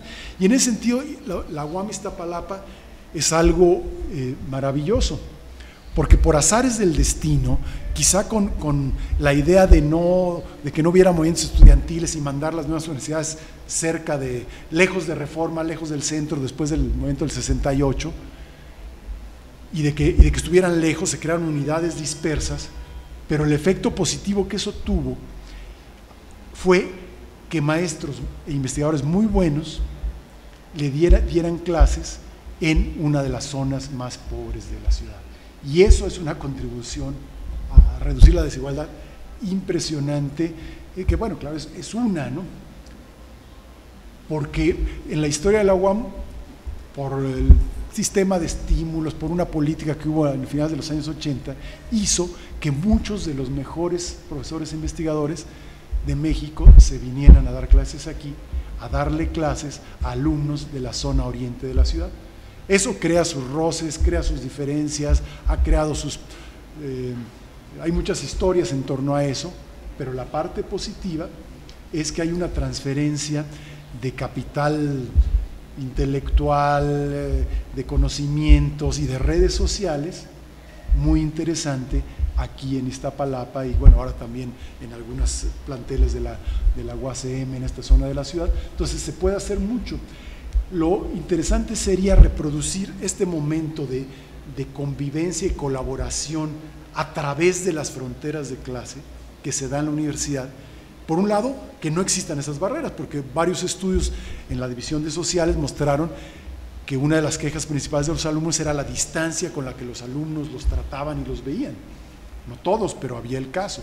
Entonces, por un lado, borrar aquí en la universidad esas barreras, no eliminarlas porque las diferencias existen, pero que creemos un, ambiente universitario en ese sentido y si logramos trasladarlo más allá de los muros de la universidad y más allá de los cuatro o cinco años que los estudiantes están aquí en experiencias de trabajo posteriores, creo que esa es una gran contribución a nuestro nivel, aparte de otras luchas que se puedan dar y, y en nuestro trabajo de investigación. Aquí mismo en la casa creo que lo hacemos, pero podemos hacerlo mejor. A ver, una última, les pedimos que sean este, breve, puntual. Así, Alejandro. Adelante, Alejandro. Este, no sé, este, ahorita me hizo reflexionar un poco una, una experiencia que he estado teniendo. ¿no? el micrófono para que se grabe. Este, me, bueno, más bien, más que una pregunta, es una, una reflexión que me surgió ahorita. Este, en la actualidad estoy traba, trabajando en un proyecto de, de, desarrollo en una comunidad de Pánuco en, en Veracruz. Y bueno, ahí eh, realmente, eh, digamos que fue una serie de luchas que, que desataron varios campesinos en la región, eh, se les otorgaron ciertas, ciertas, tierras que se les quitan a los terratenientes y ahora pues se, se implanta o se, se, tiene que colonizar estas nuevas tierras. yo soy parte del equipo que nos han contratado para ver cómo se va a implementar una idea de, de desarrollo en esa comunidad, este, cómo, cómo se va a hacer factible el lugar para que pueda, bueno, pues sí, para que se pueda desarrollar ahí el, el, la población. Eh, lo primero que hicimos fue de alguna forma diagnosticar qué era lo, con lo que, era lo que teníamos, ¿no? Las familias que estaban, las diferentes clases sociales que había, las redes de relaciones sociales que había. Y de alguna forma cuando hicimos eh, una, de alguna, este, un poco la identificación o, el, pues sí, el, diagnóstico económico de cada familia, todos se consideraban a sí mismos igualitarios. La desigualdad empezaba en términos muy simbólicos, ¿no? quién era amigo del líder de qué, este, no, es que las amenazas entre ellos era, este, es que yo soy amigo del líder, o, este, o, las otras personas te decían, no, es que yo tengo línea directa, él tiene línea directa con el líder, ¿no? Entonces veíamos que se, se estaba construyendo un sector de élite no en base a cuestiones económicas, pero a cuestiones muy, muy simbólicas, muy en base a la lucha, ¿no? Entonces, este, este, este, grupo social poco a poco, ahora sí empezaba como a acumular ciertas cuestiones económicas, apartaba nuevas tierras para, para sus familiares cercanos, para el cuñado y demás, ¿no? Entonces, quizás eh, esto me hace pensar en algo que es, es muy básico en la antropología, ¿no? El, el vincular estas cosas tan locales con estas cosas globales, ¿no? De alguna forma, hoy en la conferencia vimos como todo el parámetro de la desigualdad eh, a nivel latinoamericano, pero es, es- es bien distinto y bien complejo cómo se va dando a nivel local en cada uno de, de los lugares, ¿no? en, la- en cada una de las particularidades. ¿no? El caso Tricky, que igual, bueno, usted me hizo favor de dirigir, eh, igual ilustraba cómo estos simbolismos en cuestión de la tierra, en cuestión de la producción del maíz, en cuestión del ser maestro en la localidad, cómo se van dando estas cosas muy, muy particulares en cada sitio, ¿no? Cómo la labor quizás del antropólogo es conciliar estas dos cosas y entender algo que parecieran tan distantes, ¿no? Y en ese sentido también eh, ver este, esta comunidad en proceso de, de organización también me hace pensar un poco en el, en el sentido de cómo es- esto es algo un tanto natural, en- eh, es parte de la naturaleza humana, ¿no? En el que cada sector o cada grupo social busque su bienestar, ¿no? Quizás aquí empiezan desde lo simbólico y demás, pero cada grupo social va buscando su bienestar, ¿no? Quizás aquí lo interesante es, es ver lo que usted decía, ¿no? Que Entre más aumentan estas brechas, estas divisiones, de, esta desigualdad, eh, un, un sistema, una estructura se vuelve más desequilibrado, ¿no? Quizás sería como ahí el punto, el- la clave de la desigualdad, ¿no? Gracias. Lo que es tiene mucho que ver con las redes. ¿no? La, en el nivel de la interacción cotidiana, la desigualdad puede estar en cosas muy simbólicas, en, maneras de hablar, en, en contactos que se tienen, en conocidos. Y luego esas, esas cosas que empiezan muy pequeñas se pueden ir cristalizando en cosas más grandes, sobre todo cuando esas distinciones simbólicas se convierten en un acceso diferenciado a recursos y cuando se van creando estructuras más grandes. Entonces, en la división aquí de ciencias sociales tenemos la oportunidad de, vincular eso, porque hay gente que trabaja este tema de la desigualdad desde la psicología social, desde la antropología a nivel de la interacción entre cara a cara entre dos personas o en un pequeño grupo, eh, sociólogos que pueden ver aspectos intermedios de la, de la desigualdad a, a- nivel mesosocial, como dicen, y economistas que lo pueden ver a nivel macro, politólogos que ven la dimensión política. Es un fenómeno muy complejo. entonces, habría que, que crear puentes entre esas diferentes esferas del conocimiento, porque no basta con cambiar la estructura grandota si en el día a día cotidiano persiste la- el maltrato y la discriminación o la, la explotación, pero tampoco vamos muy lejos si cambiamos esa interacción cotidiana y la estructura del edificio se mantiene intocada, ¿no? Entonces hay que, hay que combinarlo a, los dos niveles. Muy bien. Bueno, Luis, nuevamente muchísimas gracias por tu No, participación. Gracias a ustedes. A todos ustedes muchísimas gracias por su asistencia, sus comentarios y les invitamos a que nos acompañen en las próximas conferencias de este seminario eh, de divisional, la desigualdad social en México. Les voy a mencionar rápidamente las próximas conferencias que tenemos. El 17 de junio, bueno, son cada el viernes de la tercera semana de cada mes. La próxima cae el 17 de junio. La doctora Estela Báez del Departamento de Filosofía hablará sobre cómo se ha representado la pobreza en los medios de comunicación. El 30 de junio tendremos una sesión extraordinaria con el doctor Gustavo Lins Ribeiro, que hablará sobre globalización y desigualdad. El 22 de julio, no sé si las estamos viendo por ahí, sí, 22 de julio, Roberto Gutiérrez hablará sobre el salario mínimo como un instrumento de desigualdad del Departamento de Economía.